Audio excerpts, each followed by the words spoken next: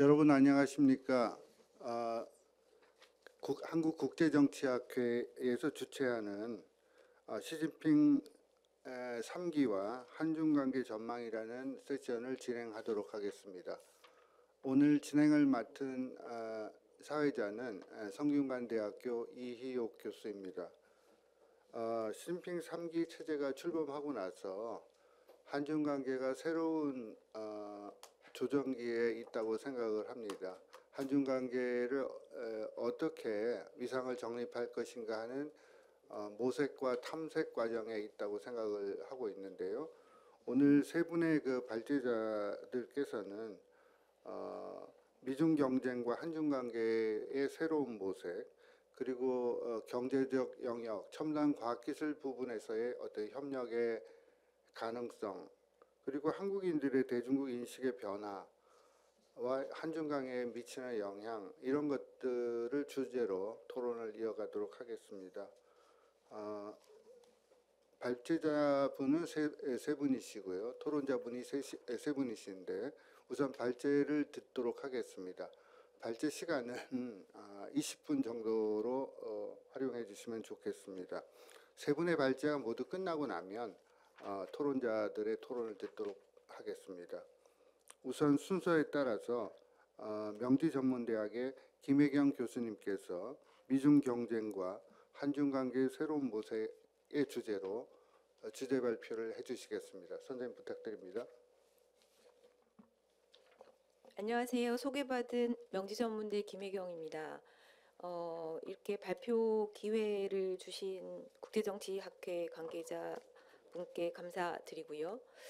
제가 이제 3월 초에 그 이런 그 기획 세션을 회의를 한다고 그 섭외를 받을 때그 국제정치학회 집행부에서 저한테 주신 어, 글의 제목이 미중 경쟁과 한중 관계의 새로운 모색이었습니다. 네.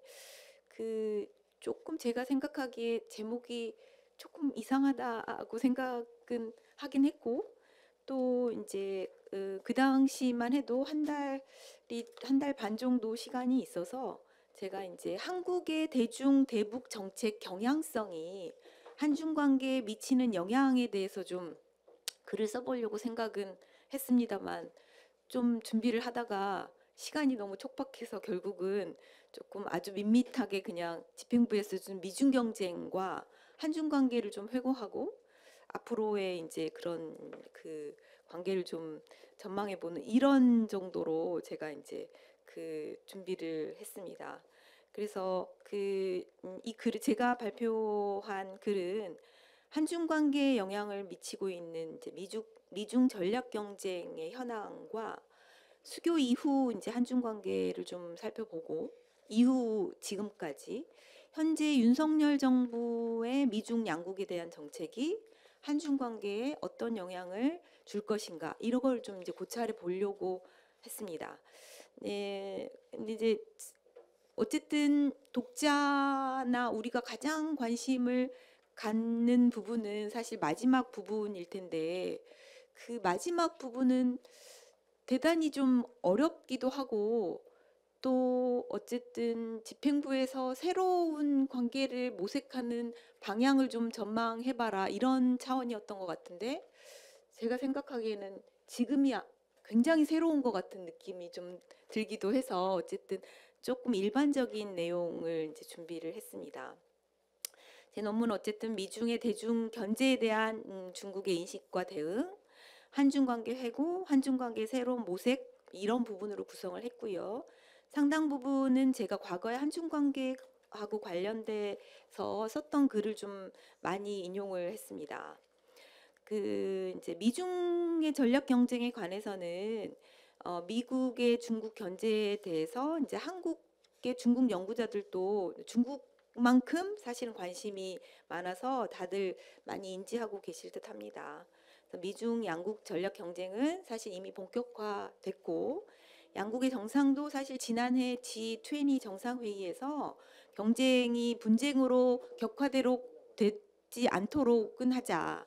경쟁이 제로섬이 되지 않도록 해야 한다라고 하는 말을 주고받기도 했습니다.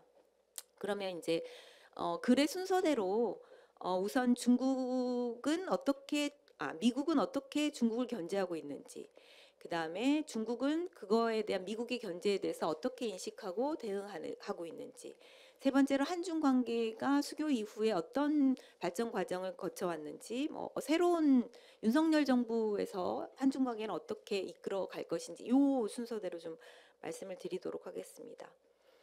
미국 내에서 사실은 대중 전략의 주류였던 사실 그 어, 90년대 냉전 이후에 음, 탈냉전 시기에 사실 2000년 초 중반까지 어, 어, 주류였던 engagement 포용 전략의 실패가 지적이 되면서 그 봉쇄의 필요성이 제기된 시기가 2008년 글로벌, 글로벌 금융 위기였다고 생각을 하고요. 당시 이제 오바마 정부가 그래서 아시아로의 회기 또는 재균형을 추진하겠다고 했습니다.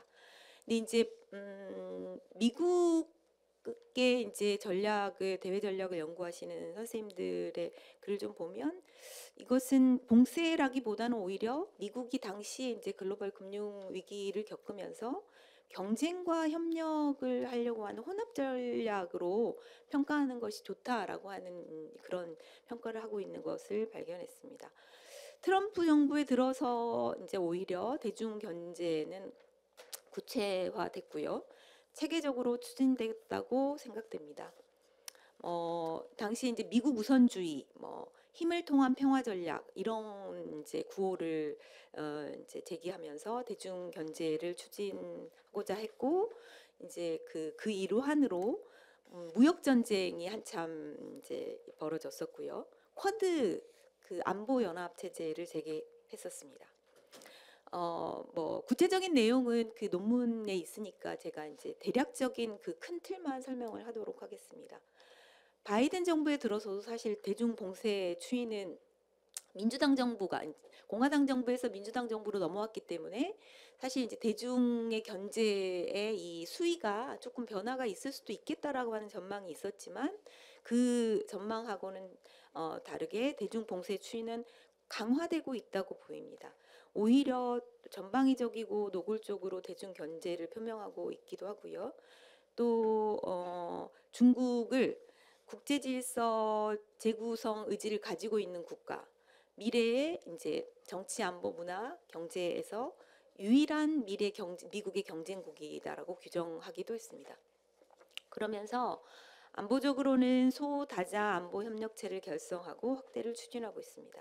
예를 들어서 쿼드의 재개와 함께 확대하려고 하는 쿼드 플러스를 운영하려고 하고 구사, 군사 기술 동맹인 오커스를 출범시켰죠 2021년에 그 확대 가능성도 있다고 이제 표명을 하고 있고요. 파이브 아이즈에 대한 이런 이제 그 어, 확대도 진지하게 논의되고 있습니다. 그래서 이제 이런 연합 어, 다자 소다자 연합 협력 그 어, 제를 통해서 동맹국과 파트너국들과 연합해서 중국을 고립시키려고 하는 의지를 보이고 있다. 어, 경제적으로도 어, 이제 인도 태평양 경제 framework를 결성해서 핵심 가치와 원칙을 공유하는 국가들 간의 경제 협력을 강화하겠다는 방안을 이제 제시를 했고 소위 이제 friend-shoring을 추진해서 그 중국을 배제하면서 미국이 이 아시아 태평양 지역에서 리더십을 재수립하려고 하고 있습니다. IRA나 칩스와 같은 국내법을 제정해서 미국이 세계 공급망에서 중국을 배제하려고 하는 방법으로 중국 견제를 추진하고 있습니다. 이렇게 이제 경제나 안보에서 전방위적으로 중국을 이제 배제하려고 하는 그래서 중국의 부상을 다소 그 지연시키거나 혹은 어 그러려고 하는 이런 전략을 추진하고 있는데 음, 저는 이제 이런 조치들이 사실 1980년대 일본의 부상이 현실화되는 상황에서 미국이 일본의 부사, 부상을 견제하고 관리하기 위해서 취했던 어, 플라자 합의나 자동차 수입 수출 물량을 규제하고 반도체 협정을 체결하는 것 같은 신통상 전략 조치를 취했던 것과 상당히 유사한 부분이 있어 보인다 이런 생각을 합니다.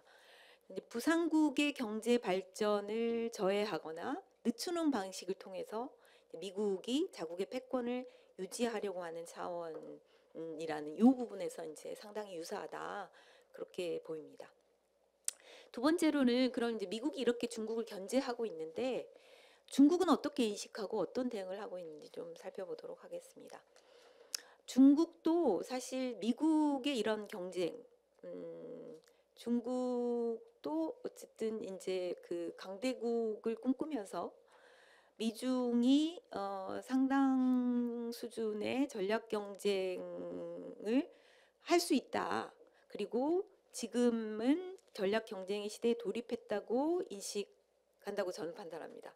또 이제 이 절, 경쟁이 전면적이고 장기적으로 진행될 거고 지역과 전 지구적 차원에서 전개될 것이라고 인식하고 있는데 이런 인식은 여러 차례 어, 지도자의 발언이나 음, 중국의 공식 문건에서 확인이 되고 있고 제가 이제 그 발제문에 어, 제시를 해 두고 있습니다.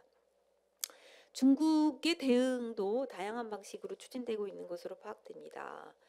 음, 이제 먼저 중국은 어, 미국과의 경쟁의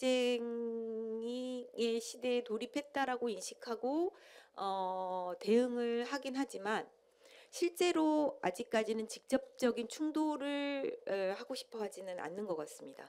직접적인 충돌을 피하면서 어, 미국의 대중경제에 협력하는 대상국이나 어, 지역을 압박하는 방식을 취하고 있는 것은 아닌가.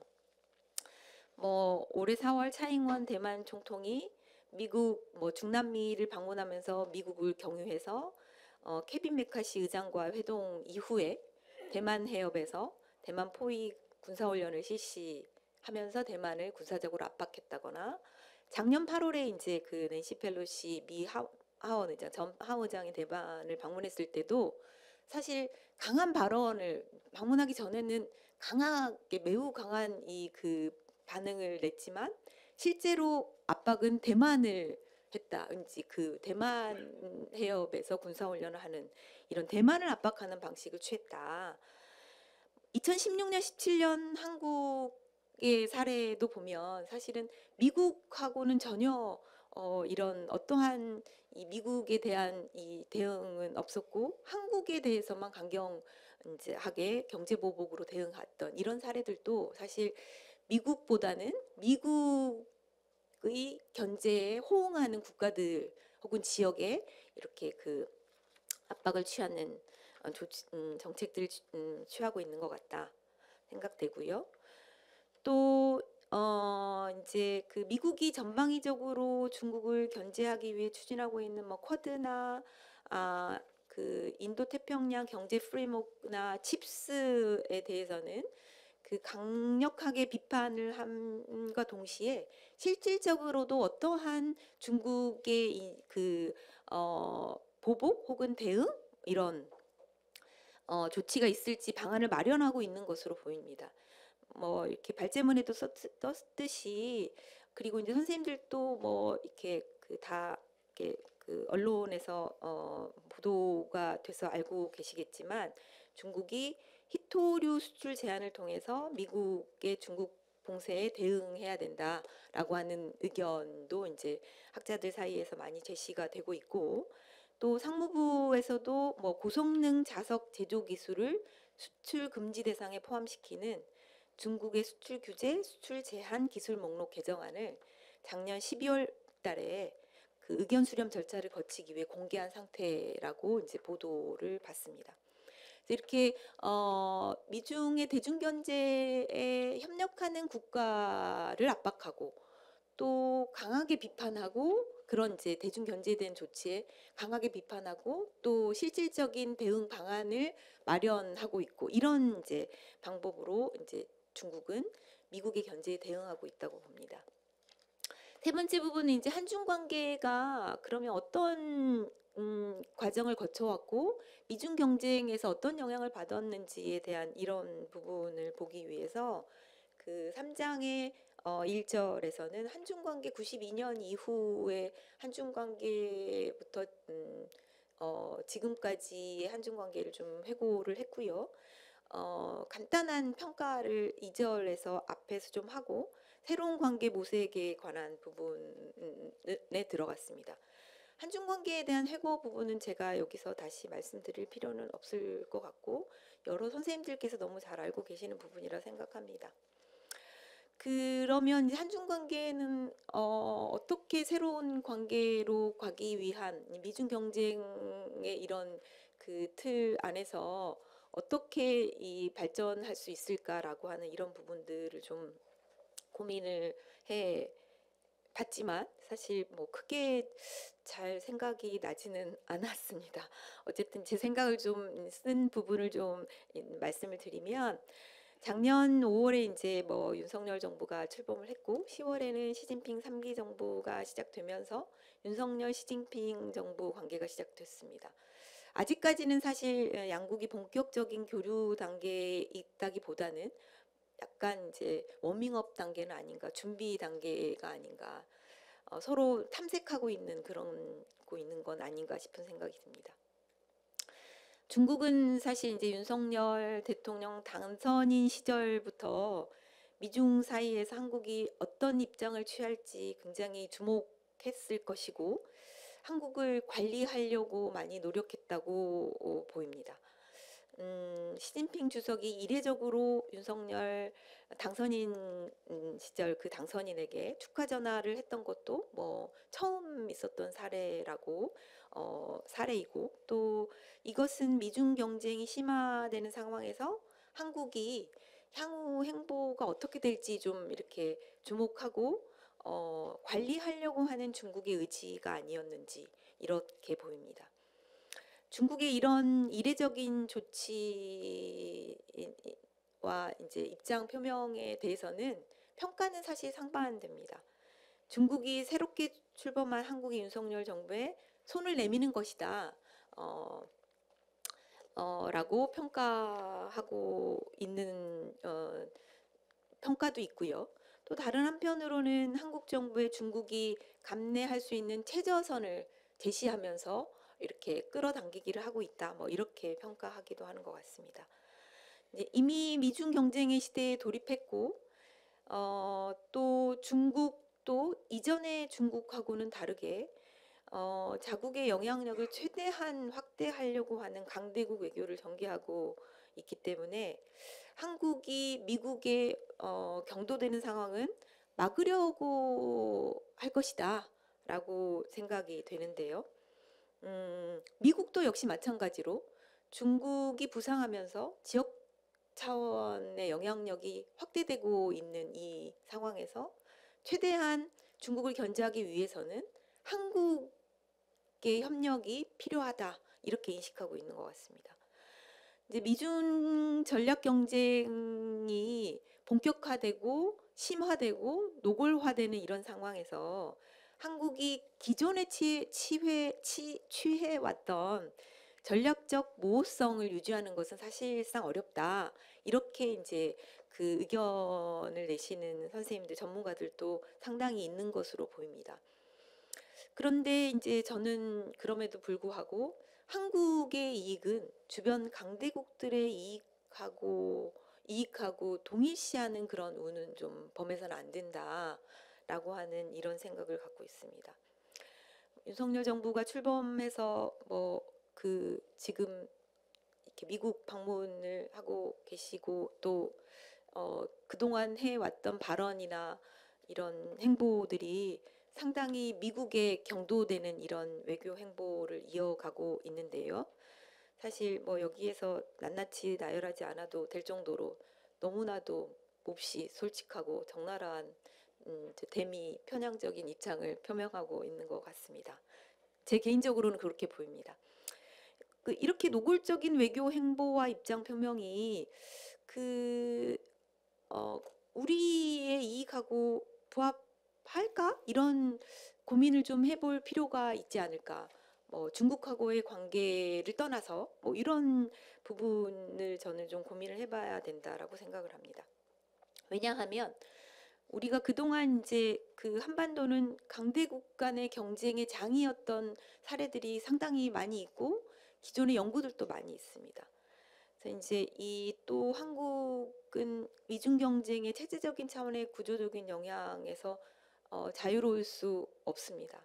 그래서 이제 또 분단 국가로서 한국은 북한과 평화 유지를 해야 하고 또 우리가 뭐 비핵화를 실현시켜야 하는 상황이기 때문에 사실 미중 경쟁에서 어느 한 국가에 노골적으로 편승하는 정책은 상당히 한국이 져야 할 위험 부담이 크다. 저는 그렇게 생각합니다.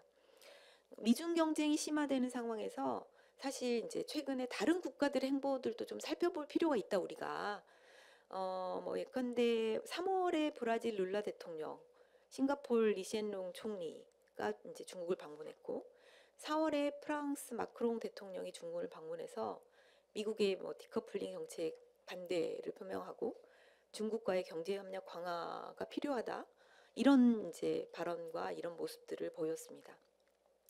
사실 이런 이 국가들도 사실 이 어, 미국의 이런 중국 견제라고 하는 미국의 이익하고 그들의 이익을 동일시하지 않고 있는 것으로 보여집니다. 이제 가치와 이념 중심의 외교가 아닌 이익을 추구한 외교 행보가 아닌가라는 판단을 좀 해봅니다. 또 국가도 좀 국가들이 어떤 다른 국가들이 어떤 행보를 취했는지와 동시에 어, 미국의 기업이 어떤 미국의 국가 차원의 정책하고는 다르게 미국 기업이 어떤 행보를 취하고 있는지도 좀 살펴볼 필요가 있는 것 같습니다. 미국 테슬라가 중국 상하이에 어, 투자 계획을 발표했던 것도 사실 주목할 대목이죠. 이미 보도가 돼서 또 그 트위터에 올려져서 어, 잘 알고 계시겠지만 테슬라는 중국 상하이에 전기 에너지 저장 장치인 메가팩 생산 공장 건설을 할 것이라고 계획을 발표했습니다. 중국이 테슬라 해외, 해외 최대 판매 시장이라고 합니다. 2022년에 테슬라 매출의 22.3%를 중국이 담당했고 미국 다음에 두 번째 시장이 중국이라고 합니다. 그래서 사실 테슬라는 이 상하이 투자 계획을 하는 요 부분은 기업의 이익과 국가의 이익, 중국 미국의 이 대중 견제와 좀 다른 행보를 보이고 있었던 부분도 한국 정부에게 주는 함의가 적지 않을 것으로 보입니다. 어, 중국은 뭐 과거 20여 년 동안 뭐 수교 이후 30여 년 동안이겠죠. 크, 음, 길게는 한국의 최대 수출 시장이었죠. 2003년 이후부터. 네, 한국의 대중무역 흑자는 한동안은 한국 전체 무역 흑자를 상회하던 때도 있었습니다. 제가 그 발제문에는 표로 어, 제시를 해뒀는데요. 코로나 시기였던 2020년과 2021년에도 한국의 대중무역 흑자액은 한국 전체 무역 흑자액의 52.8%, 82.9%를 차지했습니다. 그런데 윤석열 정부 출범 직후인 5월부터 대중국 무역 흑 수지가 적자로 전환이 됐고 제가 좀 무역 협회에 들어가서 월별 무역 수지를 살펴보니까 5월부터 12월까지 9월 한 달을 제외하고는 전부 다 적자고 그 국세청 통계를 좀 살펴보니까 올해 2023년 1월부터 3월까지 대중국 수출입 교역액 그러니까 우리나라의 그 전체 수출입 교역액 중에서 중국이 우리나라의 최대 적자국이 돼 버렸어요.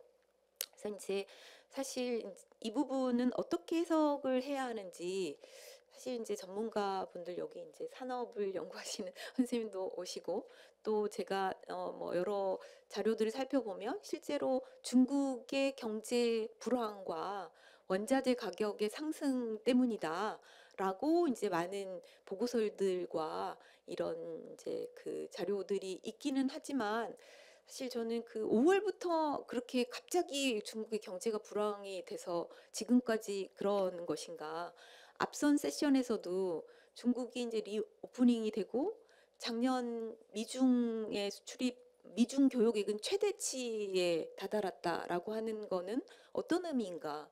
우리나라의 이런 그 무역 적자하고는 어떤 의미인지를 좀 같이 교차해서 고민을 해볼 필요가 있다고 생각합니다.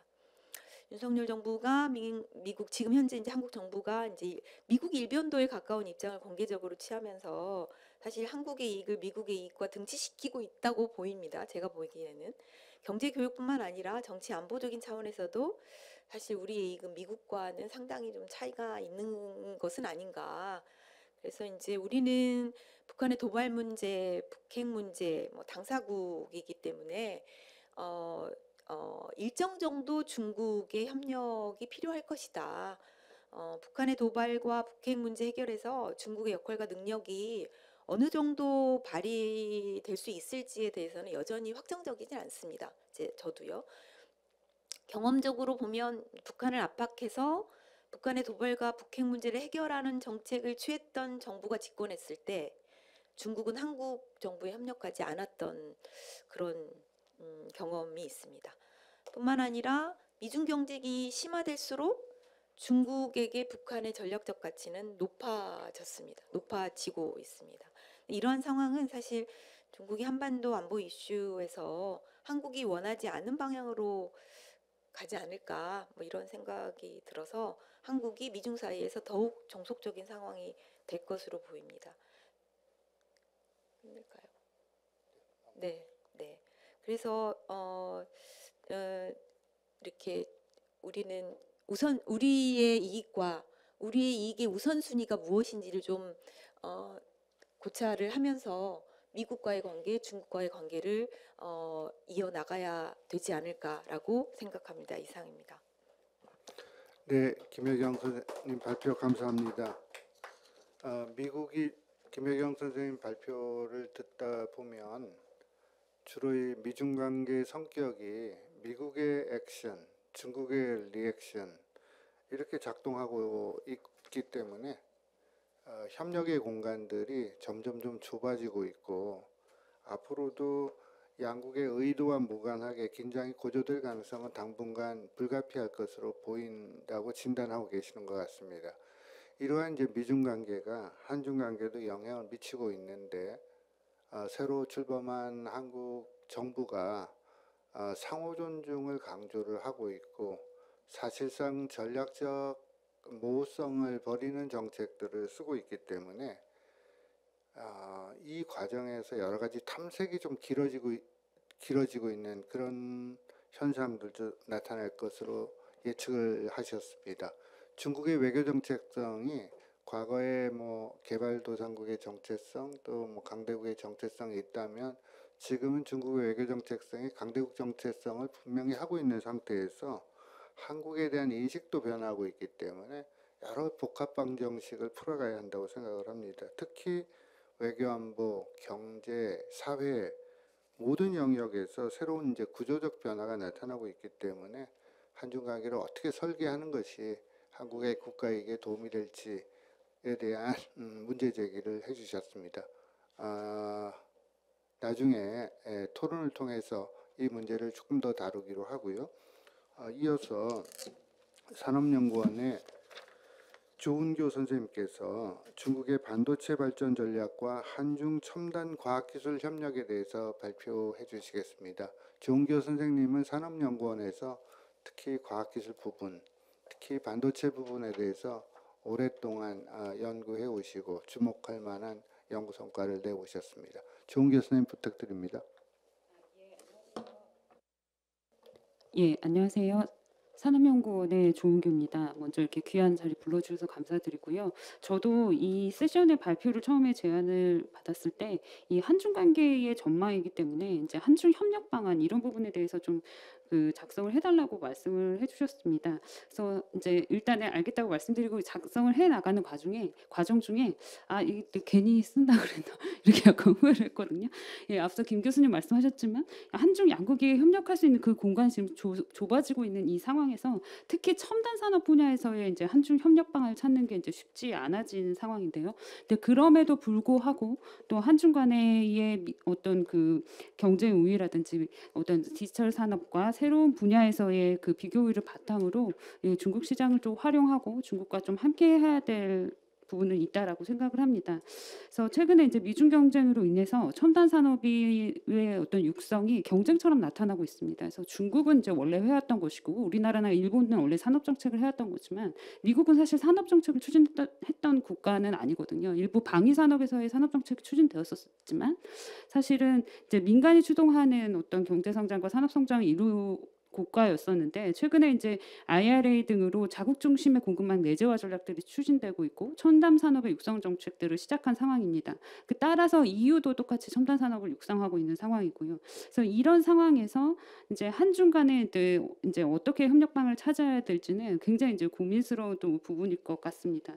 그래서 한중 간의 이제 산업 협력은 사실 수교 초기에는 상호 보완성이 분명했기 때문에 예, 수직적 분업 구조로 형성해서 이제 협력 구조를 형성해 왔지만 이제 2000년대 중반부터 중국이 제조업의 양적 질적 성장이 이루어지면서 산업 협력이 보완, 상호 보완적 협력에서 또 경쟁적 협력 관계로 변화를 했습니다. 그리고 최근에는 이제 디지털 전환, 코로나19, 미중 기술 패권 경쟁, 공, 글로벌 공급망 재편, 탄소 중립 이러한 어떤 대전환 시대가 또 도래하면서 한중 간의 어, 산업 구조에도 큰 변화가 일어나고 있고 그 우- 이제 새로운 어떤 산업 협력 모델이 필요한 그런 상황입니다. 그래서 먼저 이를 위해 이제 태- 새로운 어떤 협력 방안에 대한 어떤 모색이 필요한데 이를 위해서는 이러한 대전환 시기에 직면한 한중 첨단 산업의 경쟁 우위를 좀 분석해 봐야 될 것 같고요. 그리고 이제 협력 방안의 도출이 필요할 것 같습니다. 그래서 본 연구는 이제 중국 첨단 산업에 대한 발전 현황 또 그 발전 전략의 특징을 이제 미중 분쟁 이후에 주로 나타나는 특징으로 좀 주- 정시, 정리를 해봤고요. 그다음에 한중 간의 첨단 산업 경쟁력을 비교하고 그리고 한중 간에 어떻게 협력할 수 있을지에 대해서 좀 제시를 했습니다. 먼저 한중 첨단 산업의 발전 전략입니다. 네, 얼마 전에 이제 다들 많이 보셨을 텐데요. 이게 이슈가 된 그 보고서입니다. 이제 호적 전략 정책 연구소에서 글로벌 기술 트렌드를 좌우, 좌우할 44개의 핵심 기술 가운데 중국의 이제 37개 기술에서 1위를 차지했다라고 발표를 했습니다. 이 37개 기술 중에서도 이제 나노라든지 수소 전력, 합성 생물학, 그래서 어떤 신기술 하이테크놀로지 부- 부분에서 독점적인 어떤 위상을 중국이 차지하고 있는 걸 나타냈고요. 그리고 전기 배터리나 5G, 뭐 초음속 등에서도 경쟁력을 확보한 것으로 나타났습니다. 반면 미국이 우위를 차지한 기술은 백신과 양자 컴퓨터, 우주 발사 시스템 등으로 이제 일곱 개에 불과한 것으로 나타나면서 향후 이 첨단 기술 분야에서의 미국의 대중국 경제가 더더 강화될 것으로도 예상이 됩니다. 어, 또 최한, 최근에 그 OECD 보고서에 따르면 그 이제 GDP 대비 R&D 비중들이 모든 국가가 다 증가를 했는데 중국의 특징을 보시면 2018년, 19년부터 가, 그 가파르게 기울기가 증가를 합니다. 그래서 14차 5개년 기획에서도 계속 R&D 비중을 늘어나게 이제 늘리겠다라는 이제 선언을 했었고 그 이제 그 미중 분쟁 이후에 R&D에 대한 어떤 투자를 계속 확대하고 있는 것을 좀 볼 수 있고요. 그런 측면에서 중국이 이 첨단 기술 산업 분야에 대한 이제 전략을 미중 분쟁 이후에 어떻게 가져가고 있는지 좀 살펴봤습니다. 그 특징 중에 하나가 이 기초 과, 과, 과학 발전을 통한 원천 기술 확보를 강조하고 있다라는 점입니다. 그래서 14차 5개년 기획에서도 과학 기술 혁신을 가장 먼저 강조했고 그리고 이제 얼마 전에 발표된 그러니까 그 2022년 1월에 개정된 중국 과학기술 진보법의 그 개정 내용들을 보시면 이제 기초 연구가 두 번째로 들어가거든요. 이제 사실상 이제 첫 번째로 들어갔다라고 볼 수 있고요. 그래서 계속 기초 연구에 대한 부분들을 강조하고 있습니다. 그래서 기초 연구에 대한 안전적인 투자 체계를 구축하고 또 지방 정부나 기업 투자 확대를 위한 어떤 지원 정책, 또 연구 개발 기금에서 기초 연구의 비중들을 증가시키는 것, 또 학제 간 통합을 통한 기초 연구와 응용 연구와의 어떤 연계 발전 전략, 또 그 기초 연구의 인재 양성 강화 이런 부분들을 계속 강조하고 있는 상황이고요. 그리고 지역 과학 기술 혁신, 그래서 이제 지방 정부별 과학 기술 혁신을 추동할 수 있는 그런 시스템을 마련하자라는 그런 취지에서 이런 부분들을 또 강조하고 있고, 그리고 국제 과학 기술에 대한 협력입니다. 사실 중국은 이제 그 자국 내의 기술을 가 이제 육성하는 데에 관심이 있었지만 사실 이게 국제과학기술 협력들을 크게 강조한 적은 없었는데 미중 분쟁 이후에 이게 좀 두드러지는 특징입니다. 그래서 그 국제과학기술 협력 부분들을 보시면 미국의 이외의 국가들 이제 최근에 늘어나고 있는 거는 러시아나 프랑스나 브라질이나 사우디, 인도네시아, 그래서 동남아 지역, 중남미 지역, 아프리카 지역. 그래서 미국에서 좀 벗어난 국가들과의 어떤 협력들을 가져가면서 미국이 어떤 과학기술 분야에서의 진영화와 어떤 연대를 강화하고 있다면 중국도 반대의 입장에서의 자국 중심의 어떤 그 과학기술의 연대를 가져가고 있다라고 또 좀 해석을 할 수 있을 것 같습니다. 그리고 중, 기초 연구에 대해서 다시 한번 좀 말씀을 드리고 싶은데요.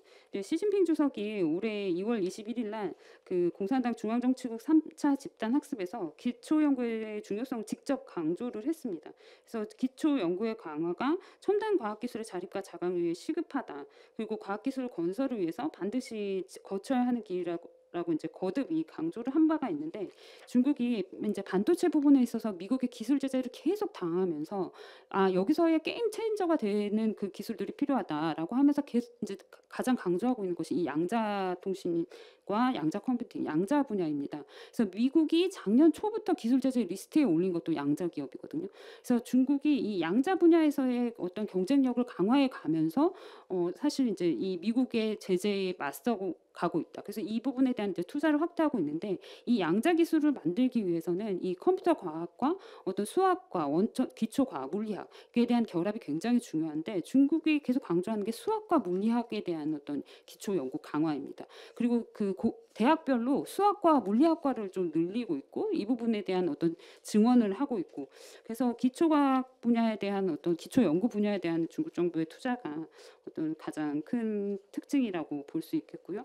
두 번째는 상관학 협력을 통한 상관학 촉진 전략입니다. 이건 원래 중국이 이제 새로운 신기술을 만들어내고 이거를 산업화할 때 잘 이제 잘 하고 있는 그런 전략이라고 볼 수 있는데 이제 AI를 좀 특징으로 말씀을 드리면 이제 AI가 막 육성이 되고 플랫폼 기업별로 별로 이제 생태계가 이제 어, 확장이 될 때 중국 정부에서는 국가 차세대 인공지능 개방 혁신 플랫폼이라는 것들을 만들어주고 AI 생태계를 직접 육성했는데요. 각각 플랫폼 기업별로 그 분야를 지정해서 AI open source 플랫폼을 만들도록 지시를 합니다.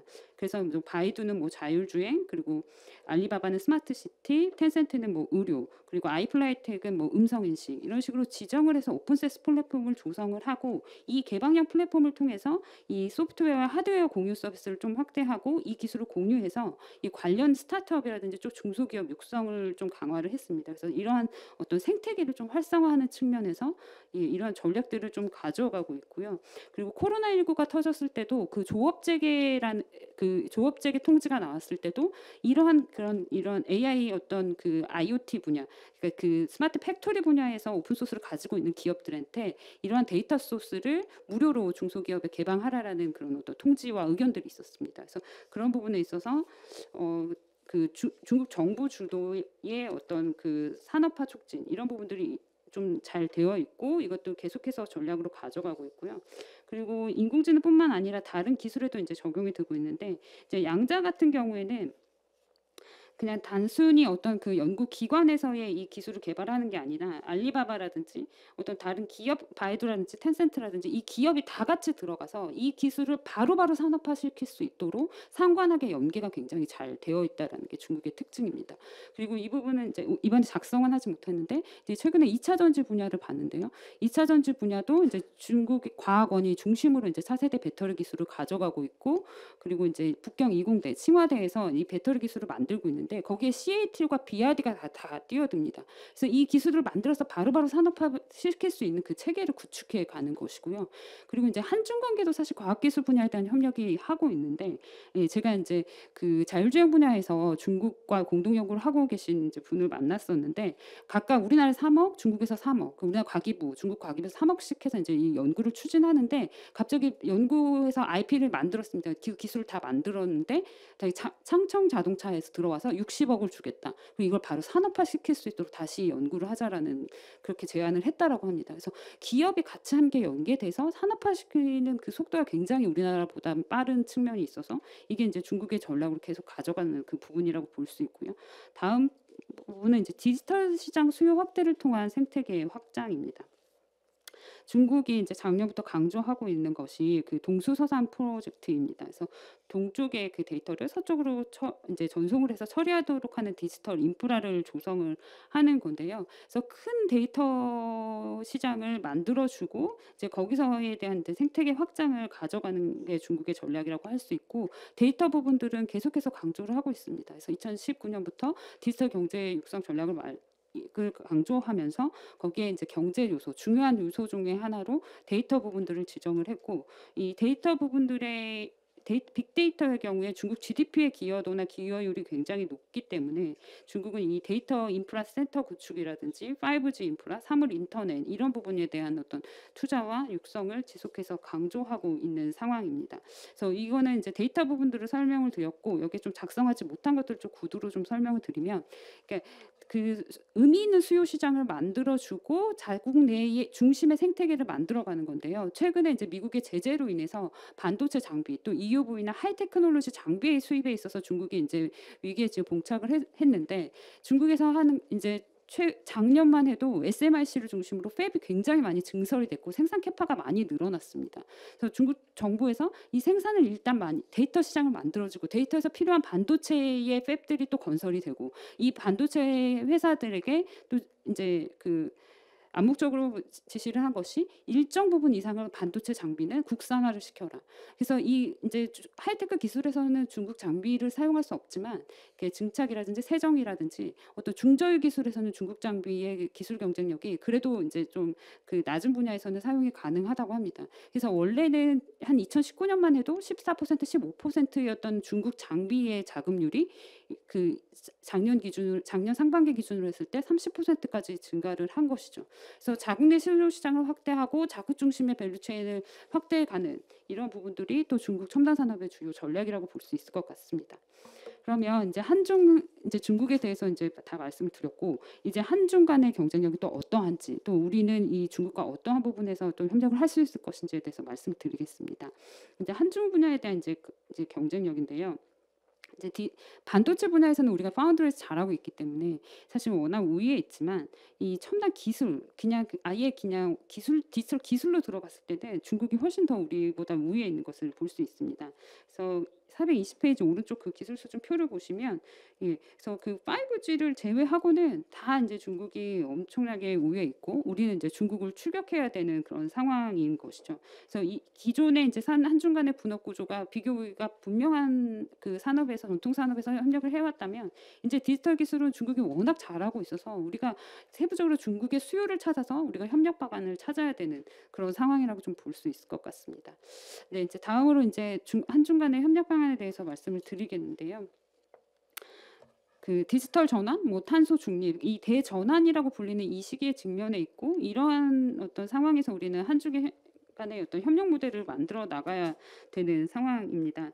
그래서 먼저 이제 그 신산업 분야에 대한 이제 협력들을 말씀을 드리고 싶은데요. 422페이지 이제 표를 보시면 되는데 이게 사실은 작년에 제가 한중수고 30주년을 기념해서 이제 논문을 쓴 적이 있는데 그 안에 이제 들어 갔던 표입니다. 근데 그때 그 당시만 해도 지금이랑 약간 상황이 달랐고 이 1년 안에 굉장한 급변화가 있었습니다. 그래서 미국이 이 IRA로 인해서 탄소 중립의 패권을 자국 중심으로 가지고 오려는 그 전략들을 또 발표했고 데이터라든지 에- 양자라든지 AI 기술이라든지 이런 부분에 대해서 계속 중국한테 pinpoint 제재를 가하고 있는 상황이기 때문에 예 그래서 그 1년만 해도 좀 확 달라져서 이 분야에서 이제 다 협력할 수 있을지는 잘 모르겠습니다. 근데 그럼에도 불구하고 이제 협력 분야를 굳이 이제 찾아본다면 아무래도 중국이 이제 디지털 플랫폼이나 빅데이터 이 분야에서 굉장히 발전을 했고 전자 상거래 플랫폼이 이제 굉장히 발전을 했습니다. 그래서 우리나라가 아까 이제 김 박사님도 말씀하셨지만 우리나라 이제 재정 적자가 늘어나고 있는 상황에서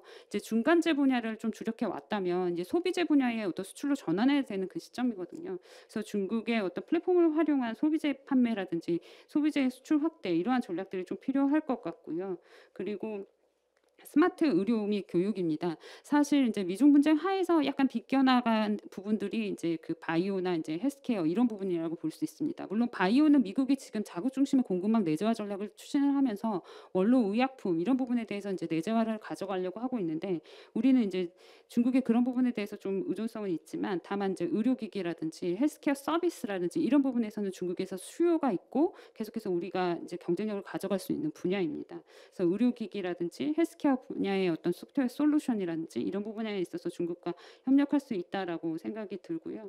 그리고 그 저탄소 친환경 산업 분야에서는 이제 수소 연료 자동차가 가장 협력이 유력한 부분이 아닐까 싶습니다.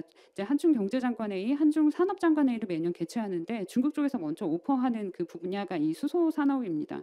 그래서 중, 수소 연료 전지, 수소 자동차 이런 부분에서는 우리가 경쟁력을 보유하고 있고 중국은 이제 수소 인프라 측면에서 지금 확장되고 있는 상황이기 때문에 계속해서 이제 협력 수요가 있는 분야고요. 그리고 지금 현대자동차의 3공장이 이제 내연차를 예, 그 라인을 이제 수소차로 전환은 할 계획인데 그런 측면에서 중국의 수소 시장을 좀 선점할 수 있는 어떤 기회를 삼고 이 분야에 대한 어떤 전략들을 다시 마련해야 되지 않을까 또 싶습니다. 이제 오- 오른쪽에는 이제 한중 협력 사례인데요. 좀 위기에 봉착한 것들이 있습니다. 이제 바로 반도체일 것 같은데요. 반도체는 사실 중국의 펜리스, 우리나라의 어떤 파운드리 이게 저는 굉장히 가- 협력이 가능한 비즈니스 모델이라고 생각을 했었습니다. 그래서 바이두의 AI 칩을 삼성에서 위탁 생산한 한 적이 있기 때문에 이게 이제 굉장한 모델이 될 것이라고 생각을 했고 이미 애플이나 페이스북이나 어떤 미국의 팹리스 기업을 TSMC가 다 공급하고 있는 상황에서 우리는 또 중국이 새로운 마켓이 될 수 있겠다라고 생각을 했는데 미국이 지금 AI 칩에 대한 중국의 제재를 가한 상황에서 우리도 이제 AMD, 엔비디아의 설계 기반의 반도체를 만들고 있어서 좀 이 부분은 이제 사- 향후 조금 어려워지지 않을까라고 생각하는 그 분 야고요. 다만 이제 자동차 제조라든지 의료 기술이라든지 뭐 프리미엄 가전이라든지 제조 분야에 우리가 기- 그동안 경쟁력을 갖고 있던 분야 또 의료 분야 의료 인력 의료 기술에서 경쟁력을 갖고 있었던 이런 분야에서는 좀 계속 협력을 가능, 협력이 가능하지 않을까라는 그런 생각이 듭니다. 그리고 이제 두 번째로는 탄소 중립 공동대를 동안 새로운 협의체가 협의체가 필요하다고 생각이 듭니다.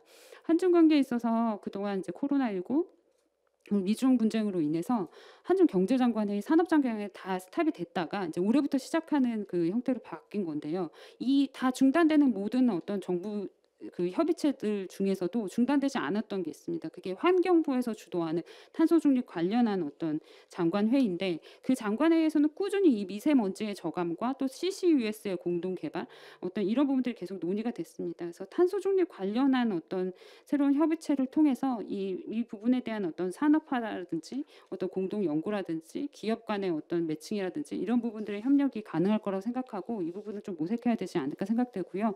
마지막은 공급망 안 정화 관련 협력입니다. 제가 얼마 전에 2차 전지에 관한 브리프를 썼었는데 뭐 핵심 이제 미국이 IRA를 발표를 하면서 우리는 미국 시장에 진출하려면 어쩔 수 없이 중국 핵심 강물에 대한 의존도를 낮춰야 되는 그런 상황이거든요. 그래서 어쩔 수 없이 낮추고 다변화가 필요하지만 또 한편으로는 중국과 또 협력을 할 수 있어야 된다라는 그런 기사를 썼는데 어떤 이제 기자분께서 이 되게 모순된다라고 그렇게 평가를 하셨더라고요. 근데 이제 그 설명이 좀 충분하지 않은 것 같아서 이 공급망 안 정에 대해서 어떻게 중국과 협력해야 될지 조금 설명을 드리고 싶은데요. 사실 공급망 다변화, 뭐 탈중국 이런 말들이 나오고 있지만 이거 정말 공급망을 다 당장 중국에서 벗어나기는 쉽지가 않습니다. 너무 의존되어 있기 때문에 그리고 이제 최근에 이제 우리가 공급망 재편 측면에서 중국을 볼 때 중국을 공급망 리스크로 봅니다. 근데 중국은 공급망 리스크 국가가 아니라 이 공급망 차원에서 재편이 되는 그 과정 중에 우리가 긴밀히 협력해야 되고 또 어떻게 보면 중국의 공급망을 활용하고 그 시장을 또 활용해야 되는 그런 상황들이거든요. 그래서 이제 공급망 측면에서는 좀 여러 가지 협력 부분이 있을 수 있을 것 같은데 저는 이제 원자재 분야 에 대한 이제 협력도 필요하다라는 생각이 듭니다. 그래서 그 중국 인도네시아에서 니켈에 대한 수출을 금지를 하면서 중국 기업들이 다 인도네시아에 진출해서 니켈 광산과 재련과 어떤 셀 제조, 리사이클링까지 다 진출을 해서 중국이 어떤 인도 국영 기업과 조인트 벤처의 형태로 다 기업을 설립해 놓은 상황입니다. 그래서 우리는 어차피 어, 어, 만약에 이제 인도네시아 시장을 진출하거나 다른 시장으로 다변화시키기 위해서라도 이 니켈을 이제 그 가져가기 위해서는 중국과의 협력이 좀 필요한 부분들이 있거든요. 그래서 지금 뭐 LG 화학이라든지 LG 엔솔, 포스코 등은 그 인도네시아 시장에서 중국의 CATL이나 그 칭산이나 그 중국 기업들과 이제 협력하는 형태의 모델을 가져가려고 하고 있는 것 같습니다. 그래서 원자재 공급망 분야에서 중국이 이제 장악하고 있지만 또 우리나라도 같이 협력할 수 있는 공간이 있다라고 생각을 하거- 하거든요. 그래서 지분 투자의 형태든 어떤 아니면 어떤 그 조인트 벤처의 형태든 중국과의 또 협력 방 안을 좀 찾을 수 있을 거라고 생각하고 그게 공급망 리스크를 좀 조금 완화시키는 어떤 한 제재 어떤 기반이 되지 않을까 그러한 생각들이 듭니다. 네 여기까지 제 발표를 마치겠습니다. 감사합니다. 네, 감사합니다. 조은규 박사님 감사합니다. 아, 한중 경제도 참 복잡하네요. 그러니까 미중 간의 이렇게 디커플링이 근본적으로는 한중 관계가 무기화된 상호 의존 이렇게 그 미중 관계가 서로 뗄래 뗄 수 없는 관계인데 이걸 지금 강제적으로 분절해가는 그런 구조가 나타나서 굉장히 우려스러운 현상이 생기니까 중국에서는 기술의 자주화, 산업의 자주화 추세가 상대적으로 굉장히 강화되고 있는 그런 흐름을 이제 짚어 주셨습니다. 뭐 그 조은 교수님 발표하는 와중에 양자 컴퓨터, 양자 역학에 대한 관심들도 중국이 기울이고 있다는 말씀을 해주셨는데 에, 중국 공산당 에, 정치국 집체 학습회의 주제 중에 하나가 양자 분야이기도 했었습니다. 그만큼 아마 지도부들이 관심을 갖는 그런 주제라고 생각이 되고 이런 이제 기술 경쟁이 자유주의 국제 질서라고 이름을 쓰지만 사실은 이제 중상주의 정책을 쓰고 있고 이것이 한중 경제에도 미치는 영향이 굉장히 지대할 것으로 생각이 됩니다. 답은 없는데 어, 종 교수님께서 몇 가지 큰 갈래를 잡아서 적어도 이런 분야에서는 협력의 모멘텀을 좀 찾을 필요가 있겠다. 특히 한중 정상이 에, 통화하는 과정에서 공급망 안정 이런 이야기를 한 바가 있죠. 그래서 그 공급망이라고 하는 것은 첨단 분야는 아니, 아니겠지만 어, 그것을 우회해서 신산업 분야라든지 뭐 탄소 중립이라든지 이런 이제 새로운 이제 협력 공간들을 만들 수 있는 것들을 좀 적극적으로 모색해 보는 것들도 방안이겠다. 이렇게 현실적인 어, 어, 정책 의제들도 함께 말씀해 주셨습니다. 세 번째 에, 주제 발표를 에, 듣도록 하겠습니다. 한국인들의 대중국 인식의 변화와 한중 관계 주제입니다. 조선대학교 정외과의 강수정 선생님께서 발표해 주시겠습니다. 강수정 선생님께서는 어, 이 주제에 대한 논문들 여러 편 쓰셨고 어, 굉장히 그 경험 연구 통계 자료를 기초해서 한국의 협중 협중 정서라든지 반환 정서라든지 이런 문제를 좀 과학적으로 규명하려고 노력해온 학자라고 생각합니다. 강수정 선생님 부탁드립니다.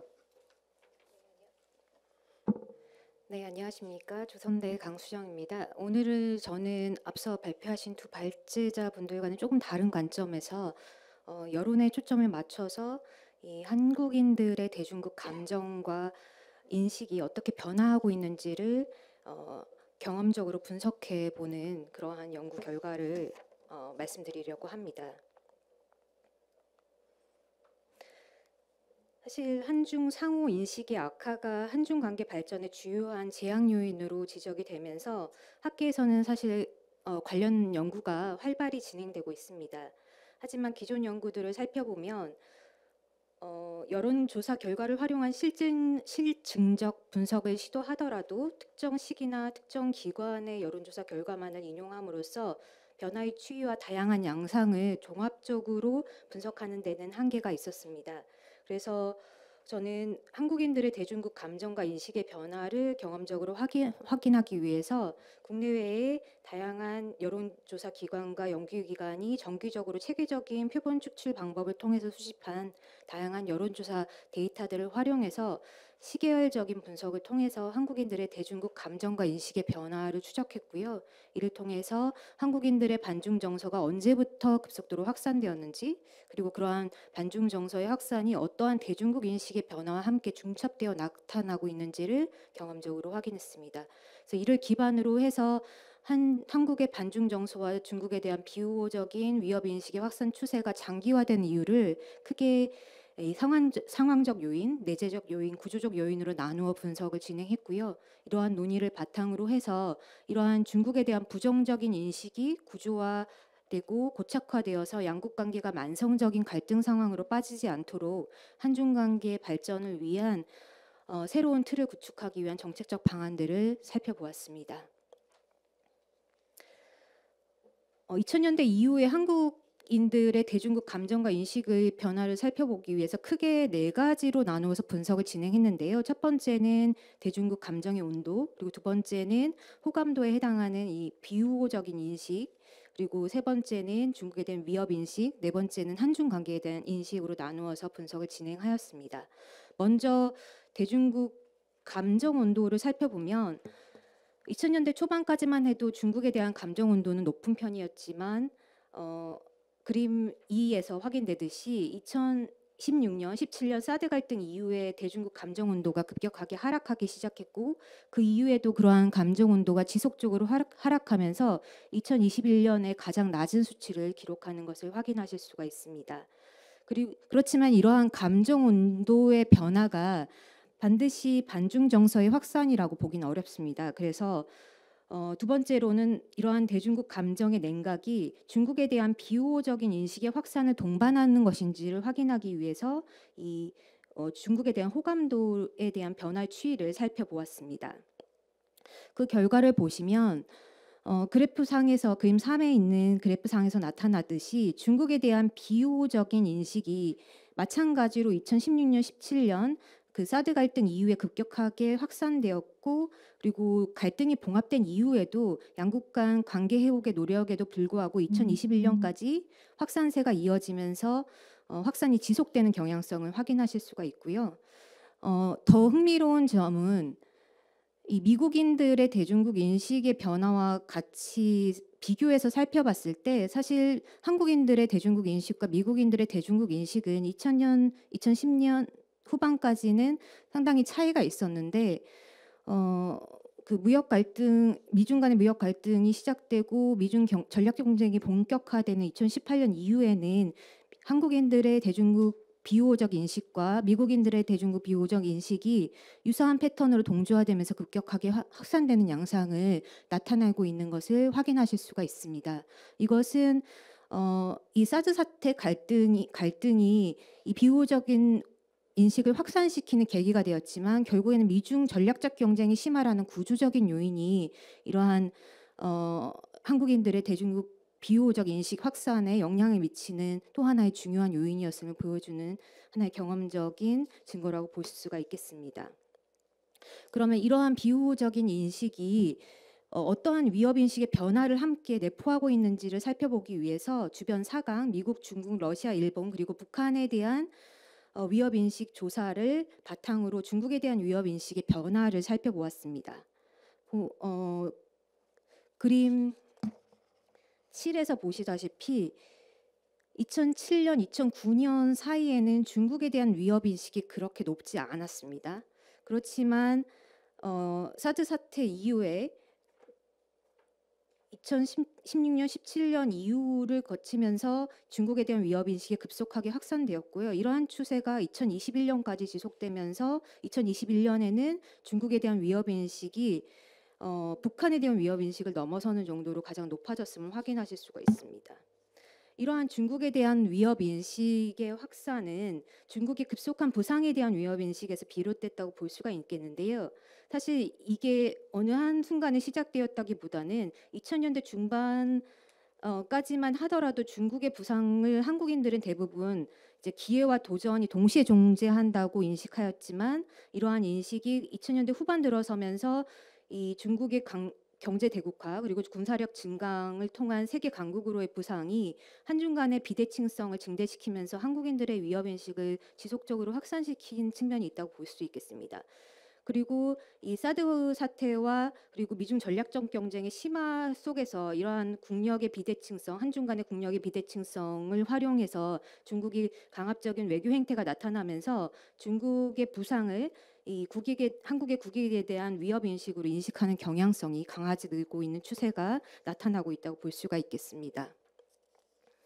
어, 마지막으로는 한중 관계에 대한 인식을 살펴보면 한중 관계에 대한 인식을 크게 협력 관계 그리고 경쟁, 경제, 아, 경, 경계, 적대의 대상으로 인식하는지를 구분해서 이 한중 관계에 대한 인식을 종합적으로 분석해 보면 어, 한국인들이 관점에서 중국의 경제 대국화가 본격화되고 한중 관계에서 비대칭성이 심화되기 시작하는 2000년대부터 한국인들은 이미 중국, 한중 관계에서 중국을 경쟁의 대상으로 인식하는 경향이 강화되었다고 볼 수가 있는데요.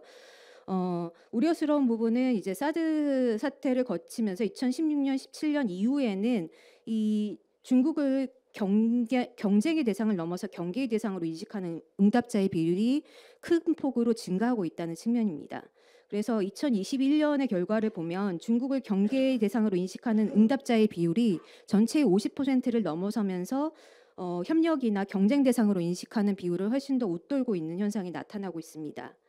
어, 이러한 현상은 사드 사태를 겪으면서 중국이 공세적인 강화 외교와 한중 관계의 비대칭성에 대한 우려가 커지면서 중국을 경쟁의 대상을 넘어서 경계의 대상으로 인식하는 경향성이 확대되었고 이러한 추세가 갈등 봉합 이후에도 지속되고 있다고 볼 수가 있겠습니다. 그러면 종합해 보면 어, 사드 갈등 이후에 한국의 대중국 감정과 인식은 중국에 대한 감정 온도의 냉각과 함께 중국에 대한 비우호적인 인식의 증가로 나타나고 있고 이러한 대중국 감정의 악화는 중국, 중국에 대한 위협 인식의 확대와 한중 관계에서 중국을 경쟁 더 나아가서는 경계의 대상으로 인식하려는 이 대중국 인식의 변화와 함께 중첩되어 나타나고 있다고 볼 수가 있겠습니다. 또한 우려스러운 부분은 이러한 대중국 인식의 변화가 반중 정서의 확산 추세 어, 대중 저, 대중 인식의 변화와 반중 정서의 확산 추세가 이 사드 갈등이 봉합된 이후에도 양국 정부의 관계 개선 노력에도 불구하고 지속적으로 심화되면서 장기화 고착화되는 현상이 나타나고 있다는 점입니다. 그 원인을 분석하기 위해서 크게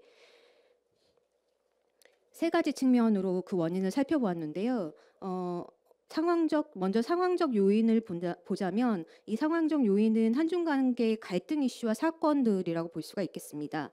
이러한 한중 관계의 갈등 이슈와 사건들은 어, 일차적으로는 한국인들의 대중국 인식의 변화와 반중 정서의 고조 및 확산을 촉진시키는 직접적인 요인이 되, 되었다고 볼 수가 있겠고요. 또한 이러한 갈등 이슈와 사건들은 이제 중국 내에서 배타적 민족주의 표출 그리고 중국 정부의 공세적 대응으로 이, 이루어지 이어지면서 이러한 중국의 태도에 대한 한국인들의 비저, 부정적인 인식과 위협 인식을 확대시키면서 이 상호 인식의 악화가 악순환의 고리를 타고 심화되는 측면이 있다고 볼 수가 있겠습니다.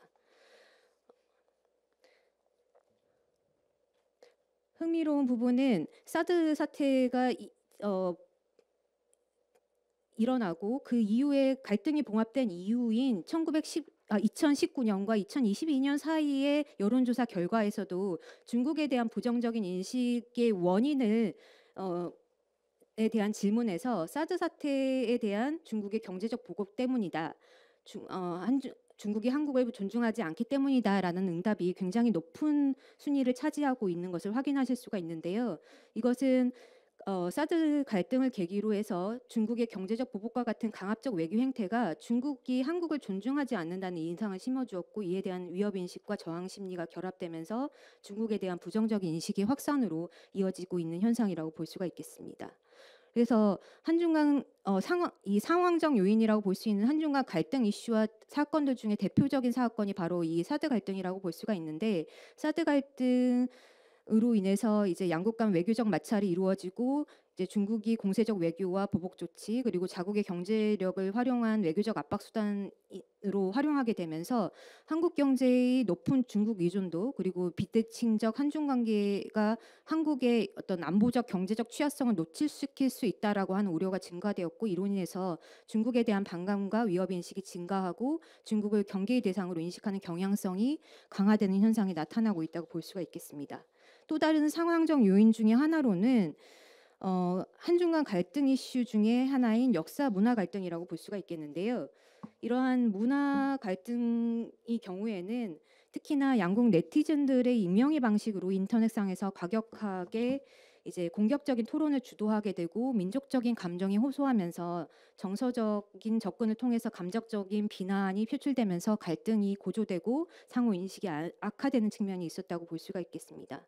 또 이와 관련해서 이 한중 양국의 정- 젊은이들을 중심으로 이 문화적인 자국의 문화에 대한 자신감이 고조되면서 각자의 문화에 대한 과도한 아- 애착이 표출되고 이것이 충돌하면서 상호 간의 인식이 악화되는 측면도 있다고 볼 수가 있겠습니다. 또 다른 상황적 요인 중에 하나는 코로나19 팬데믹이라고 볼 수가 있겠는데요. 이러한 코로나19 팬데믹 이후에 중국 책임론의 등장과 확산 과 같은 외재적인 상황적 요인들도 한국인들의 대중국 인식에 영향을 미치는 중, 어, 중요한 상황적 요인 중에 하나였다고 볼 수가 있겠습니다. 이러한 중국 책임론을 둘러싼 국제적인 여론전 속에서 중국의 체제, 가치, 이념의 이질성이 보다 명확하게 드러나면서 이러한 코로나19 발원지 논란이 중국과 국제사회 간의 정치적 대립으로 확대되고 그리고 국내에서도 중국 책임론과 반중 정서가 강화되는 배경이 되었다고 볼 수가 있겠습니다. 두 번째는 내재적인 요인이라고 볼 수가 있는데요. 이 내재적인 요인은 한국의 국내 정치와 미디어 및 언론 환경과 같은 내재적인 요인인데 이러한 내재적인 요인들도 한국의 반중 정서와 여론의 확대 대상산을 촉진시키는 역할을 했다고 볼 수가 있겠습니다. 미디어와 언론 환경은 사실상 양국 대중들의 상호 인식을 구축하는 중요한 통로가 되고 있고 특히나 이 청소년 청소년층은 청년층은 이 인터넷 미디어를 통해서 민감하게 정보, 정보를 주고받습니다. 그래서 이러한 민, 인터넷 미디어 상에서 양국 간 문화 갈등이 어, 이루어지면서 사실상 이 인터넷 미디어가 이 문화적 그리고 역사적 정체성을 둘러싼 어떤 갈등의 플랫폼이 되고 있고 그리고 이러한 인터넷을 통해서 어, 협중 정서가 확대 재생산되는 측면이 있다고 볼 수가 있겠습니다. 그리고 언론도 일정 정도 역할을 했다고 볼 수가 있겠는데요. 언론이 중국에 대한 혐한 발언과 인터넷상의 댓글들을 과대 보도하면서 한국의 반중 정서와 여론을 확대 재- 재생산하는데 어, 일정 정도 역할을 한 측면이 있다고 보여지고요. 그리고 국내 정치에서도 특정 정당이나 정치 세력들이 대중적 지지를 확대하기 위해서 대중들의 반중 정서를 자극하고 활용하는 측면도 있었습니다. 그리고 마지막으로는 이제 구조적인 원인을 살펴보아야 되는데요. 사실은 저는 이 앞에 앞서 살펴본 음, 상황적 요인과 내재적 요인만큼 중요한 요인들이 구조적 요인이라고 생각하고요. 이러한 중국의 부상에 따른 미중 세력 경쟁의 구조적 심화, 그리고 한중 간의 비대칭성 확대, 그리고 이념과 체제의 차이 확대와 같은 구조적 요인들이 앞서 살펴본 상황적 내재적 요인들과 결합하면서 어, 이러한 어, 이러한 상황적 내재적 요인들로 고조되고 확대 재생산된 반중 정서와 여론이 사실상 계속 지속하게 되는 동력으로 작용하고 있다고 보여집니다. 그래서 미중 간의 전략적 경쟁이 본격화됨에 따라서 이러한 구조적 변화로 한중 간 협력의 공간은 축소되고 있고 그리고 이해관계 충돌로 인한 갈등이 발생하고 있습니다. 그래서 사드 비치도 사실상 이러한 미중 결, 전략적 경쟁의 구조적 환경 속에서 한중 간의 이해관계가 충돌한 사례라고 볼 수가 있겠고요. 어, 이러한 갈등은 사실상 이후에 미중 간 세력 경쟁이 장기화되면서 더 빈번하고 반복적으로 일어날 가능성이 높고 지속적으로 이러한 이슈들로 인해서 하- 이 양국의 상호 인식이 악화되고 악화된 인식이 고착화 장기화되는 그러한 구조적인 문제에 빠질 수 있다라고 생각이 듭니다. 그래서 어 양국 국민 정서의 악화는 양국 간 갈등 이슈들이 직접적인 원인이 되었지만 그 이면을 들여다보면 한중 관계의 비대칭성의 증대 그리고 양국 간 체제 및 이념의 이질성 증대라고 하는 구조적이고 근본적인 원인이 이러한 양국 간 갈등 이슈와 결부되면서 상호 간 부성, 부정적인 인식을 사회 전반으로 활- 확산시키는 데 중요하게 작용했다고 보여집니다. 그래서 양국 간 갈등 국면의 완화와 그리고 정부 간 관계 개선의 노력에도 불구하고 상호 인식이 지속적으로 악화되고 그리고 이러한 인식이 이제 구조적으로 고착화되는 어, 문제점은 사실상 이러한 구조적인 요인들이 작용하고 있기 때문이라고 보여집니다.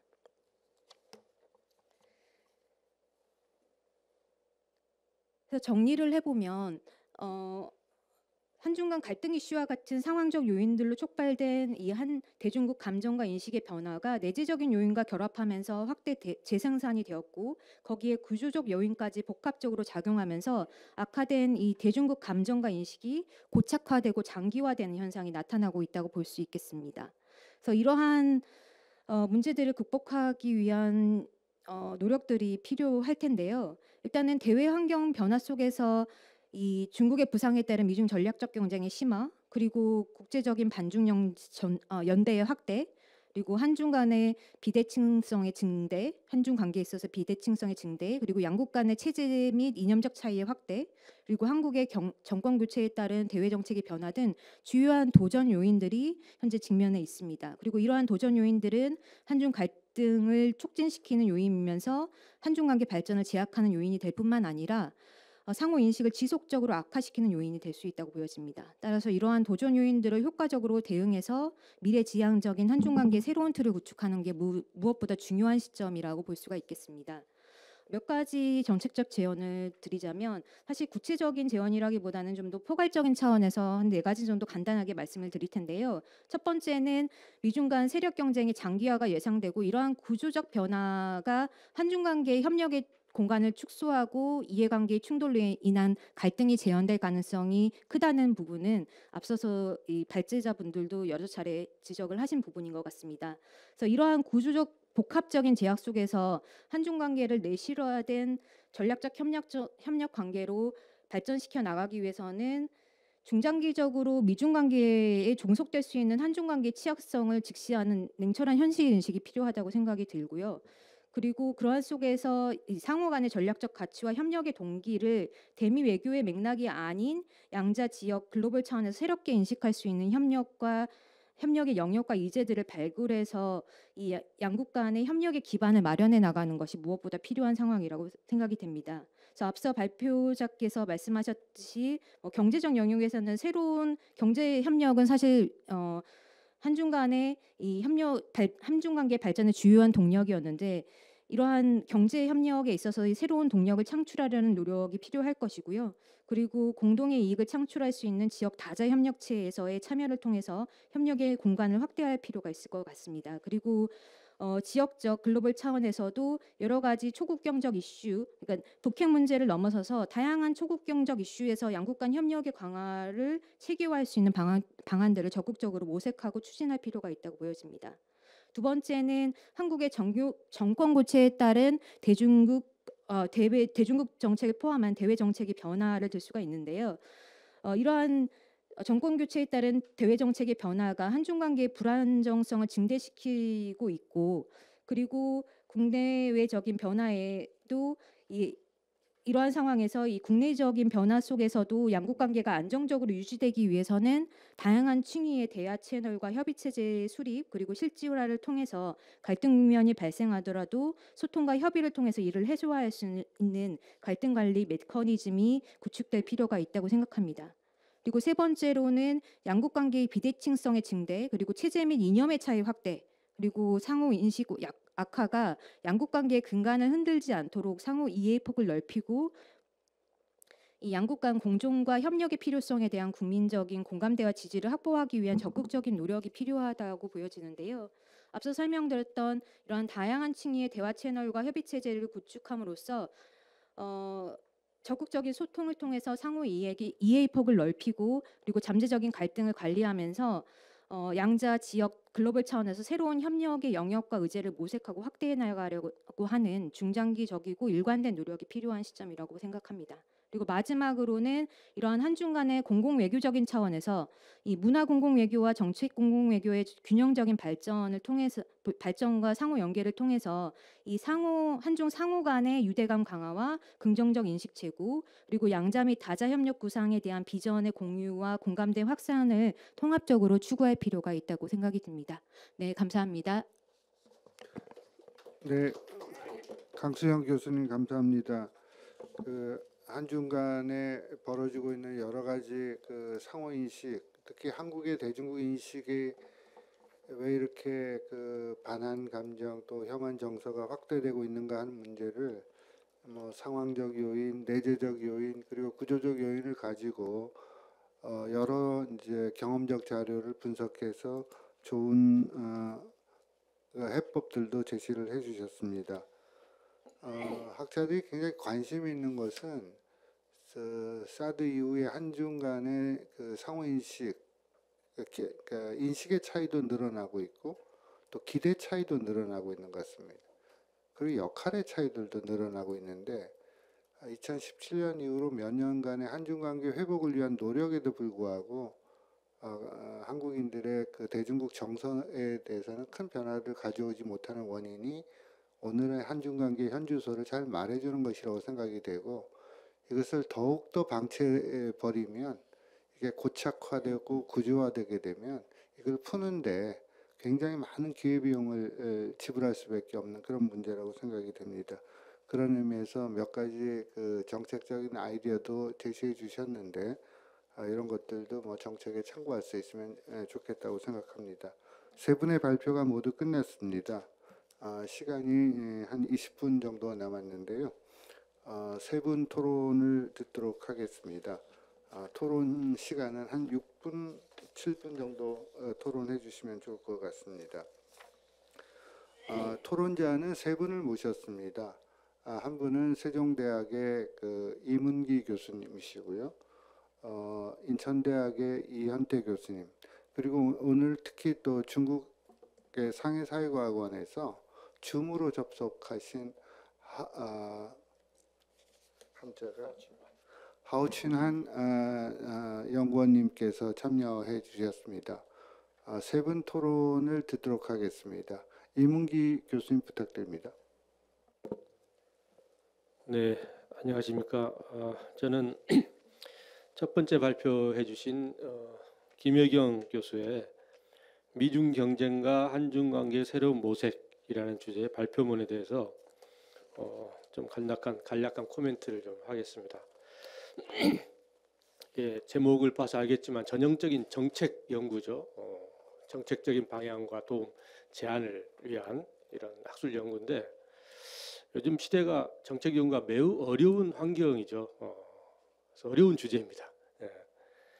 어려운 이유는 뭐 다 알다시피 에, 정- 너무나 혼돈스럽고 불확실성이 큰 국제 환경에 처해 있기 때문에 이 불확실성이 큰 환경 속에서 정책적 제안을 제시한다는 것은 굉장히 어려운 과제죠. 너무나 변수도 복잡하고 어렵기 때문에 자, 그래서 이제 어려움에도 불구하고 이렇게 에, 용기 있는 도전을 하셨고 어, 어, 이렇게 정리를 해주셨습니다. 어, 한중 관계의 새로운 음, 방향을 모색해 보자는 이런 어, 취지의 제목이었는데 뭐 어, 그렇게 딱 잡히는 새로움은 솔직히 말해서 어, 딱 잡기 어려워요. 지금 딱 잡히는 새로움 별로 안 보입니다. 비판적인 분석은 많이 해주셨는데 그래서 저는 이제 왜 이런 현상이 왜 생기느냐 이, 이 어려운 정책 연구 과제 지금 상황에서 한중 관계의 정책 연구를 제시하는 방향성에 대해서 우리가 기본적인 인식들이 조금 이 전문가들 많은 전문가들이 그래서 그렇고 편향이 좀 있어요. 오늘 우리 한중 관계랄지 중국 문제 여러 패널과 이랬는데 좀 비슷한 느낌을 좀 받는 게 한중 관계가 위기에 처해 있고 갈 길이 참이 모색하기 어려운 굉장히 위기에 처해 있다 이런 진단을 많이 하는데 그 위기의 본질이 양자 관계인가요? 저는 아무리 봐도 한중 관계 양자 관계 측면에서의 위기가 아, 심하다고 생각지 않습니다. 물론 국민 감정의 문제니 역사 문화니 뭐 있습니다만은 본질은 외교 안보 특히 외교 안보 영역에서의 본질은 삼자 관계다. 표면적으로는 한중 관계 위기를 이야기하고 그 대안을 제시하는 정책 연구를 진행하지만은 삼자 관계 분석 틀을 가지고서 접근해야지만이 문제의 본질을 짚어낼 수 있고 대안적인 정책 제안도 가능하다라고 생각합니다. 이 근데 삼자 관계의 함정, 삼자 관계 구조의 위기 속에 드디어 빠져들었습니다. 제가 드디어라고 표현한 이유는 반가워서 드디어가 아니라 오래전에 예견돼 왔던 것들인데 이제 좀 아주 민- 현실화된 거죠. 처음에 안 났던 상황으로. 그리고 이 삼자 관계의 에, 문제는 어, 삼자 관계라는 것은 미국과 중국 사이에 에, 속에서 이 주제 제목하고 똑같은 거죠. 어, 우리 역사 속에서 어, 항상 겪었던 것입니다. 항상 어, 새로운 게 아니다. 삼자 관계만 이 현상만 놓고 우리 한반도의 역사가 고려 시대부터 한반도로 축소가 되었는데 고려 시대 이후에 모든 국난과 아, 대외적 위기는 다 삼각관계의 함정, 삼각구도의 위기 속에서 발현되었습니다. 고려 시대의 세 차례의 국난, 조선 시대의 임진왜란, 병자호란, 청일전쟁, 해방 전국에서의 한국 전쟁도 따지고 보면 삼각구도의 함정이었죠. 어, 자 그래서 지금 오늘날 이- 이런 역사적인 어떤 경험들이 다시 재현되는 이런 어, 한반도의 이런 상황이다. 이런 좀 거시적인 문제의식과 틀을 가지면 조금 더 어, 분석의 틀 어디에 어떤 지점을 분석해야 되는 초점이 좀 명확하지 않을까 싶습니다. 김혜경 교수께서 두 가지 이제 첫 번째는 구조적 요인으로서 미중 관계 환경이 전략 경쟁이 심화되고 있다라는 것을 쭉 설명해 주셨습니다. 그리고 한중 관계의 이제 새로운 방향성에 대해 제안했습니다. 각각에 대해서 뭐 시간이 너무 없기 때문에 어, 조금 좀 이런 지점에 좀 주목했으면 좋겠다는 포인트 몇 가지만 좀 코멘트를 하겠습니다. 먼저 구조적 요인으로서 미중 경쟁, 미중의 전략 경쟁이 심화하고 있다는 부분 많은 설명을 해주셨는데 저는 이제 제 독자 입장에서는 결국 두 가지 의문, 질문에 대해서 계속해서 이 쓰는 분, 정책 제안을 하시는 분들한테 이 답을 듣고 싶은 것들이 있어요. 첫 번째는 어, 미국이 중국을 그렇게 압박하고 있는데 미국 정말 중국과 디커플링 각오했나? 미국이 정말 디커플링까지 가겠다는 것인지 아닌지 이 정말 좀 어렵습니다 판단하기가. 아, 그걸 해- 설명해 줘야 된다. 여기에는 결국 좀 요즘 시- 유행하는 신냉전이라는 개념에 대한 설명이 되겠죠. 그리고 구냉전 체제하고 다른 구냉전 체제와 신냉전이라고 하는 것. 미중 간 전략 경쟁이 심화되고 있다는 걸 아는데 그 양상과 이 추세를 앞으로 미래가 어떻게 전개될 것인지 결국 디커플링의 정도가 어디까지 갈 것인지 아니라면 미국이 디커플링 그러니까 미, 미소 간의 분, 이 결별처럼 이런 차원이 아니라면 아닌 어떤 특성에 갖고 있는 것은 무엇인지 설명이 돼야 된다라는 생각이 듭니다. 두 번째는 그 미중 디커플링이랄지 미중 간의 경쟁이 심화됐다는 게 이제는 약간의 좀 경험적인 분석이 가능한 시점이 됐다고 생각이 됩니다. 이게 한 10년 됐거든요, 지금. 그러니까 2011년에 미국의 아시아 재균형 전략이 천명되면서부터 어, 미국의 대중국 정책이 전환이 됐죠. 그러니까 10년이 좀 넘었습니다. 10년째 지속되고 있다 지금. 그렇다면 이제 10년쯤 지났으면은 어느 정도의 좀 분석이 가능한 시점이 됐습니다. 10년의 경험을 한번 보자 이거죠. 음. 한번 좀 전문가들이 많이 좀 분석했으면 좋겠는데 제가 보기에는 10년을 경험해 돌아보면은 미국이 그렇게 성공적이지 않은 것 같습니다. 미국의 대중국 견제 정책 10년 동안 그렇게 성공적이지 못했다. 중국이 오히려 굉장히 적응을 잘하고 있습니다. 지금 상황이. 음. 적어도 이런 10년의 경험 분석을 한번 펼- 펴봐야겠다. 그래야지 미래가 전망이 가능해지는 거죠. 어. 이제 10년의 경험 분석을 통해서 어느 정도의 미래에 대한 전망 또 유추가 가능한 상황이 되었다라고 생각이 됩니다. 그리고 나아가서는 궁극적인 승자가 누가 될 것이냐라는 질문에도 접근해 봐야 되겠죠. 음. 물론 그 쉽게 어, 당연히 다 불확실하다고 이야기할 수밖에 없는 상황입니다만은 자 그런 질문에 대해서 초점을 두고 한번 구성을 다시 했으면 좋겠다라는 생각이 듭니다. 시간이 다 됐는데 1분만 하겠습니다. 한중 관계에 대해서는 어, 일단 한중 관계에 지난 회고를 했고 현재 한중 관계에 대한 그 전망을 했는데 두 개가 약간 분석 틀이 좀 잘못 그 어- 어긋나 있어요. 어, 지난 회고는 양자 관계 중심으로 쭉 회고를 해놓고 미래 전망을 제안하는 것의 부제는 삼자관계 중심으로 한미종 삼자관계 속에서의 대안했습니다. 해고도 삼자관계 중심으로 해야 되는 거죠. 어. 해고도 이 삼각구도 환경 속에서 지난 30년 동안 어떻게 한중 관계가 되어- 전개되어 왔는지 이것을 바탕으로 지금 오늘과 미래를 전망해야 된다라고 생각이 듭니다. 아, 하고 싶은 이야기 많았는데 이 정도 마치겠습니다. 네, 감사합니다. 어, 제가 시간 관리를 잘 못해갖고요. 제가 4시 40분에는 발표를 하러 올라가야 됩니다. 그러니까 시간이 좀 촉박해졌습니다. 이현태 선생님 부탁드립니다. 예, 바로 토론을 하겠습니다. 조은교 박사님 중국 첨단 산업 발전 전략과 한중 협력 방안에 대해서 토론하겠습니다. 한 네 가지 정도 전반적인 내용에는 저도 동의하고 잘 정리된 보고서 발표문이라고 생각합니다. 하지만 같이 생각해 볼 수 있는 한 네 가지 정문 정도의 코멘트와 질문을 섞여서 전달 드리도록 하겠습니다. 첫 번째는 요즘에 많은 그 미, 미국과 중국의 기술 수준에 대한 여러 가지 평가들이 나오는데요. 그래서 본문에서 이용한 것은 호주 전략 정책 연구소에서 나온 결과입니다. 중국이 44개 중에 34개에서 미국을 압도하고 핵심 기술 1위다 이런 말씀을 주셨는데 사실 이게 양국의 기술 수준을 총괄적으로 평가해서 우위를 가르는 건 굉장히 어려운 작업입니다.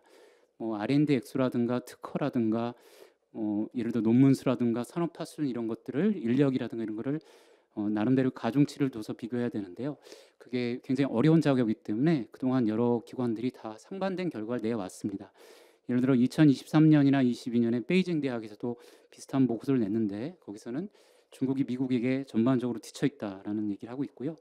21년에 하버드 벨퍼 연구소에서 나왔는데요. 한 10년 안에 미국을 중국이 따라잡는다. 다만 한 다섯 개 정도 분야에서만 그렇다. 이런 결론을 내고 있습니다. 따라서 이런 걸 어떤 하나의 보고서 나왔다고 해서 전반적으로 너무 신뢰를 가, 가지거나 그럴 필요는 없고 없다고 생각하고요.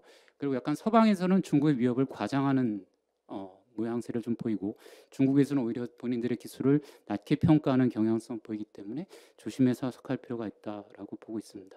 다만 정리는 이렇게 하면 될 것 같습니다. 중국이 굉장히 대단히 인상적인 성과를 거두고 있다라는 건 확실하고요. 다만 우리는 연구 역량이라는 것과 그리고 그걸 실제적으로 상업화시키고 군사화시키는 개발 역량이라는 것은 분리해 생각할 필요가 있고 그다음에 미국이 훨씬 가지고 있는 그 기술의 stock, 즉 기술의 축적도와 현재 굉장히 잘하고 있는 중국의 기술 flow를 나름대로 비교해서 종합적으로 판단할 필요가 있다고 생각합니다. 그래서 한국의 입장에서 보면 오히려 그런 양국의 기술력 평가보다는 오히려 미중 기술 경쟁 속에서 양국이 어떤 기술에서 어떤 산업에서 분기되고 있는가를 고민하는 것이 더 중요하고 그 분기에서 벌어지는 한국에 대한 리스크가 뭐가 있는지 그리고 이익을 취할 수 있는 것이 뭔지 고민하는 게 중요할 것 같습니다. 이게 최근에 특히 굉장히 드러나고 있는 문제인데요. 미국이 지금 첨단 기술에서 탈중국을 시도하고 있습니다. 그리고 중국이 자립형 기술 발전 전략을 추진하고 있고요. 그래서 일정한 수준에서는 기술적 산업적 분기가 되고 있고 미국과 중국의 각자 기술 생태가 형성될 가능성이 있습니다. 그래서 최근에 이제 이런 문제로 인한 한국의 각종 리스크가 발생하고 있는데 아까 김혜경 박사님 발표에서 나오셨, 나왔던 것처럼 반도체라든가 아니면 배터리 측면에서 특히 두드러지고 있습니다. 대표적인 예가 2020년에 SK 하이닉스가 인텔의 인텔의 NAND flash 공장을 대련에서 인수했습니다. 근데 그 다음에 미국에서 반도체 발전법이 나왔고 미국에 대한 아, 중국에 대한 수출 통제를 시작했습니다. 따라서 네, 어, 인텔의 공장을 인수한 SK 하이닉스는 더 이상 업그레이드를 할 수도 없고 산업 설비를 증가시킬 수도 없는 상황입니다. 굉장히 어떻게 고립무원의 상에 빠졌다고 볼 수 있는데요. 앞으로 미국과 중국이 기술 분기가 본격화된다면 그런 문제가 반도체뿐만 아니라 또 다시 이제 배터리에서 나왔고요. 다른 측면은 확대될 가능성이 있습니다. 바이오라든가 아니면 전자생과라든가 플랫폼이라든가 이런 데서 그런 쪽으로 오히려 우리가 연구하고 그걸 미리 대비하는 게 한국으로서 양국이 누가 지금 1위냐 이런 걸 보다는 그쪽을 연구해서 나가는 것이 도움이 될 거라고 보고 있습니다. 다음에 이제 한중 산업부의 여러 가지 협력 가능성에 대해서 말씀 주셨는데요. 저도 전반적인 내용에 동의하고 있습니다. 양국은 지금 약간 미중 경쟁 속에서 자유로운 그런 산업에서 주로 협력을 해야 될 것 같고요. 그리고 양국이 동일한 문제를 겪고 있는 거에서 접근해야 될 것 같습니다. 그래서 지속 가능한 SDG 발전이라든가 아니면 저출산이나 고령화 대비에 대한 연구, 그리고 탈탄소 대응이나 기후 변화에 대한 연구, 교육이나 해양이나 환경 같은 연구에서는 미중 분쟁과는 상당히 자유롭지 않습니까? 그런 쪽에서는 충분히 서로 간의 상호 공동 문제를 해결하는 방식으로 공간이 넓, 넓다. 그래서 미중 분쟁 속에서 너무 위축하지 말고 위축되지 말고 그런 것들은 정부 차원이든 산업 차원에서 적극적으로 나가볼 필요가 있다고 생각하고 있습니다. 다만 좀 아쉬운 것은 그동안의 30년 동안 기업 차원에서는 나름대로 협력이 많이 있었는데요. 정부가 주도해서 한 것들은 별로 성과가 좋지 않았습니다. 거의 전무하다고 볼 수 있죠. 근데 이게 중 독일의 사례와 좀 비교가 되는데요. 독일은 선양에 중독 스마트 제조 산업단지를 건설하고 잘 운영하고 있습니다. 근데 우리는 왜 안 될까요? 이런 것들을 해볼 수는 없을까요? 적극적으로 그런 것들이 좀 정부 차원에서 기업 차원에서 좀 고민을 해볼 필요가 있을 거라고 생각합니다. 마지막으로 공급망 안정화 협력인데요. 매우 중요하다는 데 동의하고 여기서 말씀하신 방안 또한 역시 그렇게 해야 된다고 보고 있습니다. 다만 제가 그냥 부정적으로 생각하는 것은 현실이 너무 녹록치가 않습니다. 어, 예를 들어서 어, 지정학적 영향을 너무 심하게 받고 있고 중국은 정치가 경제에 우위하는 국가이기 때문에 우리의 의도와는 달리 미중 경책에서 휘말리면서 요소수 사태와 같은 것이 다시 벌어질 수가 있습니다. 요소수 사태는 중국이 일부러 한 건 아니지 않습니까? 하지만 미중 경쟁 속에서 한국이 미국에 경도된다면 중국은 일부러 하지 않은 것 같이 하면서 일부러 할 수가 있습니다. 예를 들어 히토류 같은 것도 국내 수요가 부족하다. 마치 요소수처럼 그런 데서 수출을 제한하겠다라고 하지만 속으로는 한국에 대한 어떤 불만 때문에 그거를 할 수도 있는 것이고요. 그런 것들이 좀 상당히 걱정됩니다. 그리고 가장 워스트 시나리오서 요즘에 걱정되는 것은 중국이 대만을 침공했을 때의 경우입니다. 중국이 러시아화가 되면은 한국이 지금 러시아와 모든 경제 관계가 전, 전환된 상태입니다. 그렇다면은 중국과의 전격적인 공급망 단절이 될 가능성이 있고요.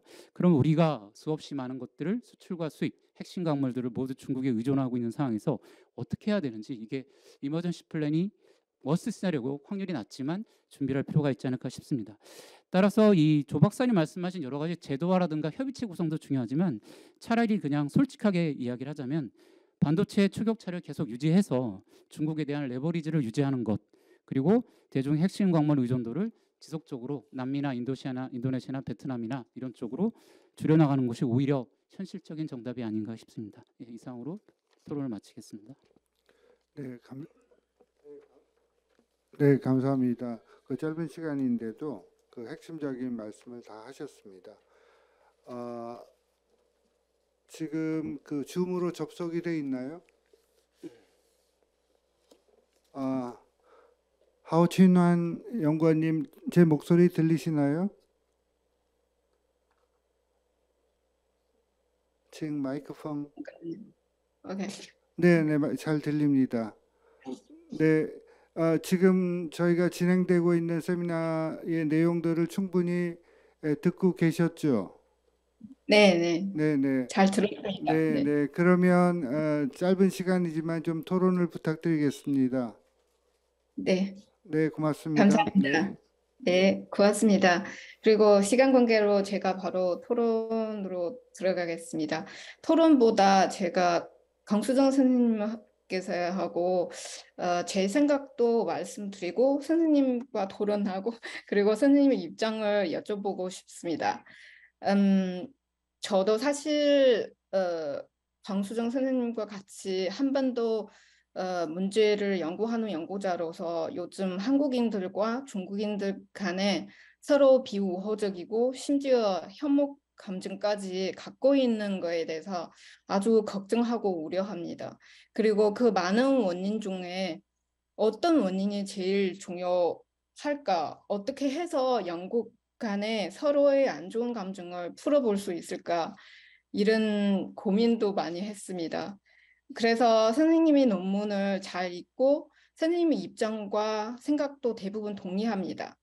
최근 몇 년 동안 한국인들의 반중 감정과 부정적인 인식이 계속 확산되는 문제와 그 원인을 아주 잘 지적하셨고 잘 분석하셨습니다. 해, 해결 방안도 잘 제시하셨습니다.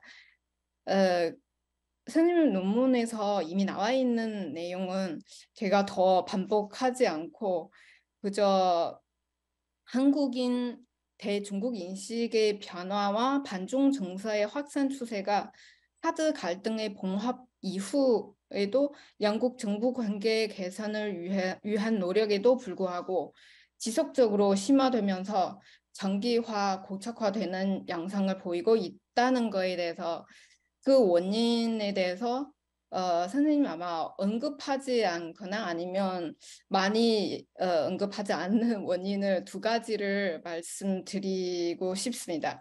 하나는 코로나 팬데믹 때문에 한중 간의 인적 교류가 거의 중단되는 됐다는 현실입니다.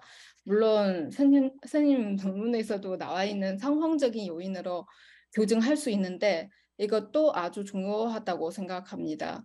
코로나가 없었으면 물론 이렇게 가정할 수 없지만 이렇게 가정할 의미가 더 없지만 그래도 인적 교류가 중단하지 않으면 그럼 지금까지 이렇게 악화하지 않을 수도 있다고 생각합니다.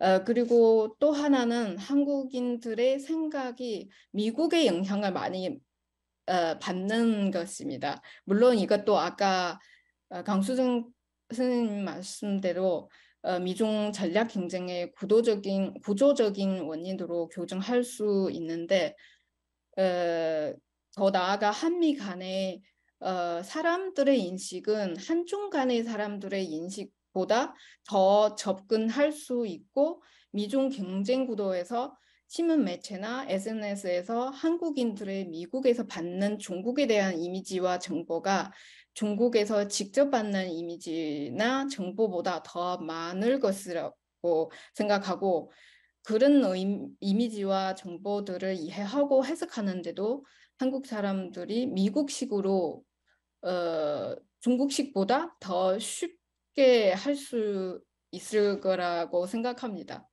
그래서 이 두 가지 요인을 결합해서 한국 사람들의 중국에 대한 호감도가 더 많이 떨어지게 할 수 있다고 생각하고 특히 선생님의 논문에서도 나와 있는 데이터를 보면 더 입증될 수 있는 것 같아요.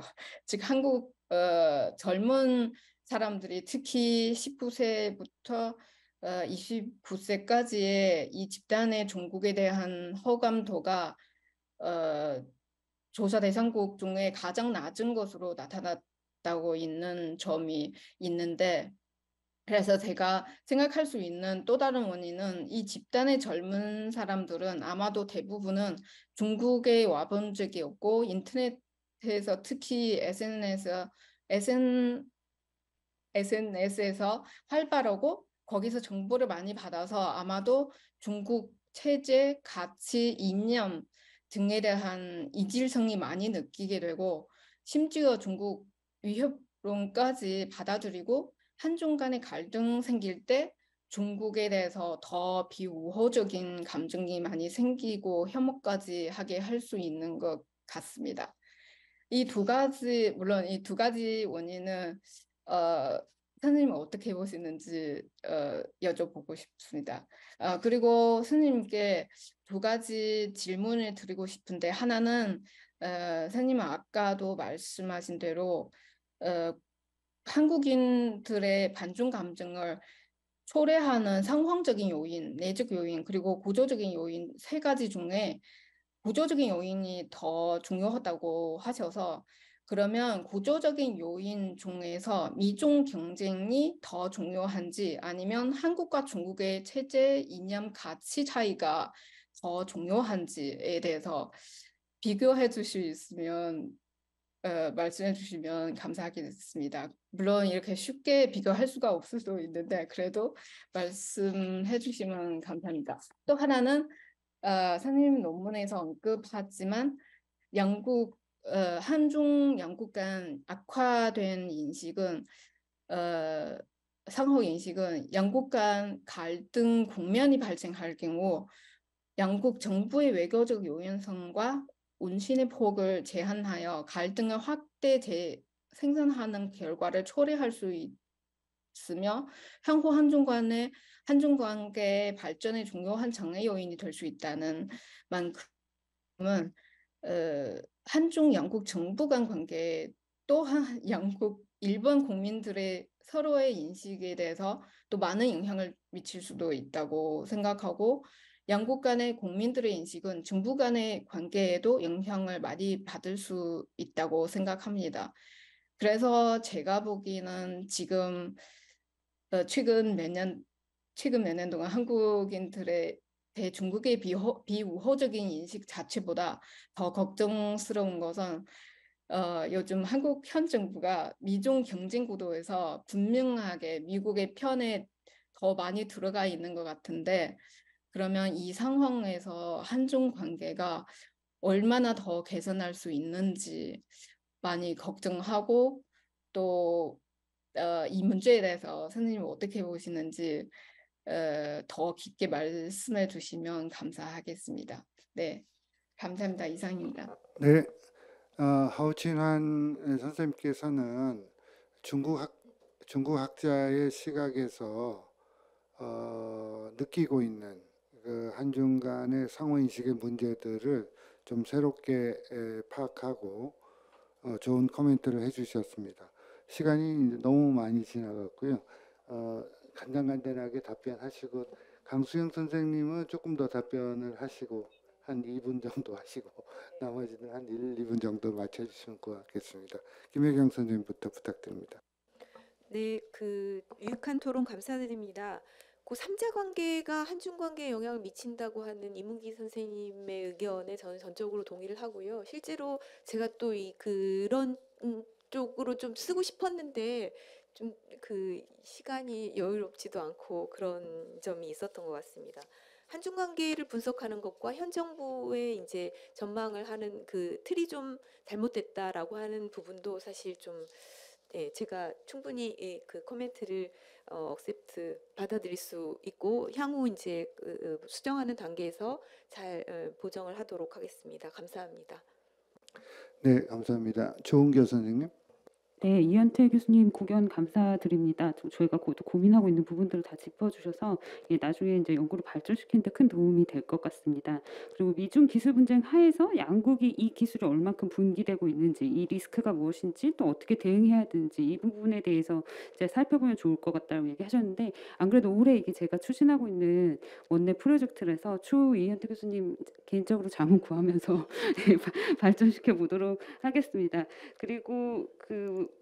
이제 그 SDG나 고령화나 저출산 이 문제 말씀하셨는데 이 부분은 굉장히 좋은 의견 같습니다. 또 미중 분쟁 하에서 또 어떻게 대응해야 될지 살펴보는 것보다 위축되지 말고 또 우리 양국이 어떤 자- 당면한 현안에서 협력방을 찾는 게 굉장히 중요하다고 생각하고요. 고령화도 중국이 굉장히 빠르게 진행되고 있기 때문에 중국 정부에서도 관심을 갖고 있는 내용이고 한중일 보건장관 회의에서도 이 부분에 대한 공동 연구라든지 이런 게 항상 제안이 되고 있는 어젠다입니다. 그래서 추후 이 부분도 살펴보도록 하겠습니다. 네, 의견 감사합니다. 네, 마지막으로 강수영 선생님 부탁드립니다.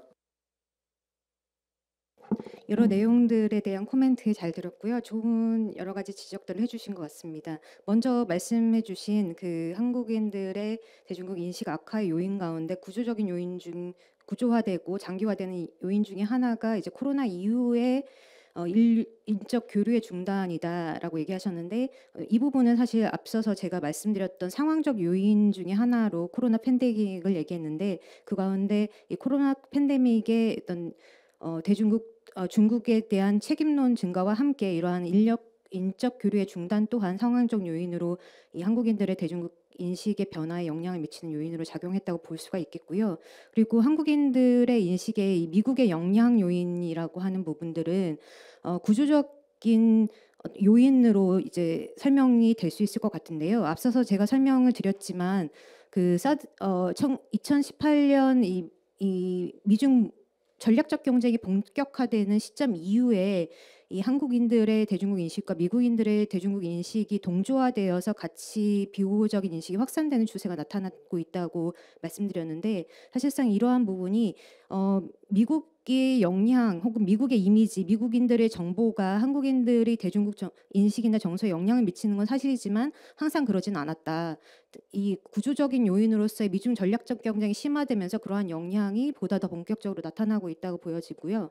그래서 이러한 부분들은 오히려 구조적인 영, 영향 요인으로 살펴봐야지 되지 않는가 싶습니다. 그리고 뭐 언론이나 미디어에서도 그렇고 여- 논문에서 지적했지만 이 청년 세대 젊은 집, 젊은이 집단을 중심으로 한 반중 정서의 확산은 사실 굉장히 어, 우려가 되는 부분 중에 하나지만 사실 이 부분에 대한 연구는 좀 논정적인 측면이 있습니다. 그래서 단순히 인터넷 미디어로 정보를 입수한 청년 집단들이 그 인터넷 미디어의 영향을 받았다라고만 설명하기에는 한계가 있다고 보여지고요. 이 청년 집단들이 갖고 있는 그들이 어떤 이- 인식 구조, 예를 들면은 그들이 갖고 있는 자국에 대한 자부심이나 뭐 문화적 자부심 이런 것들도 영향을 미쳤을 것이고요.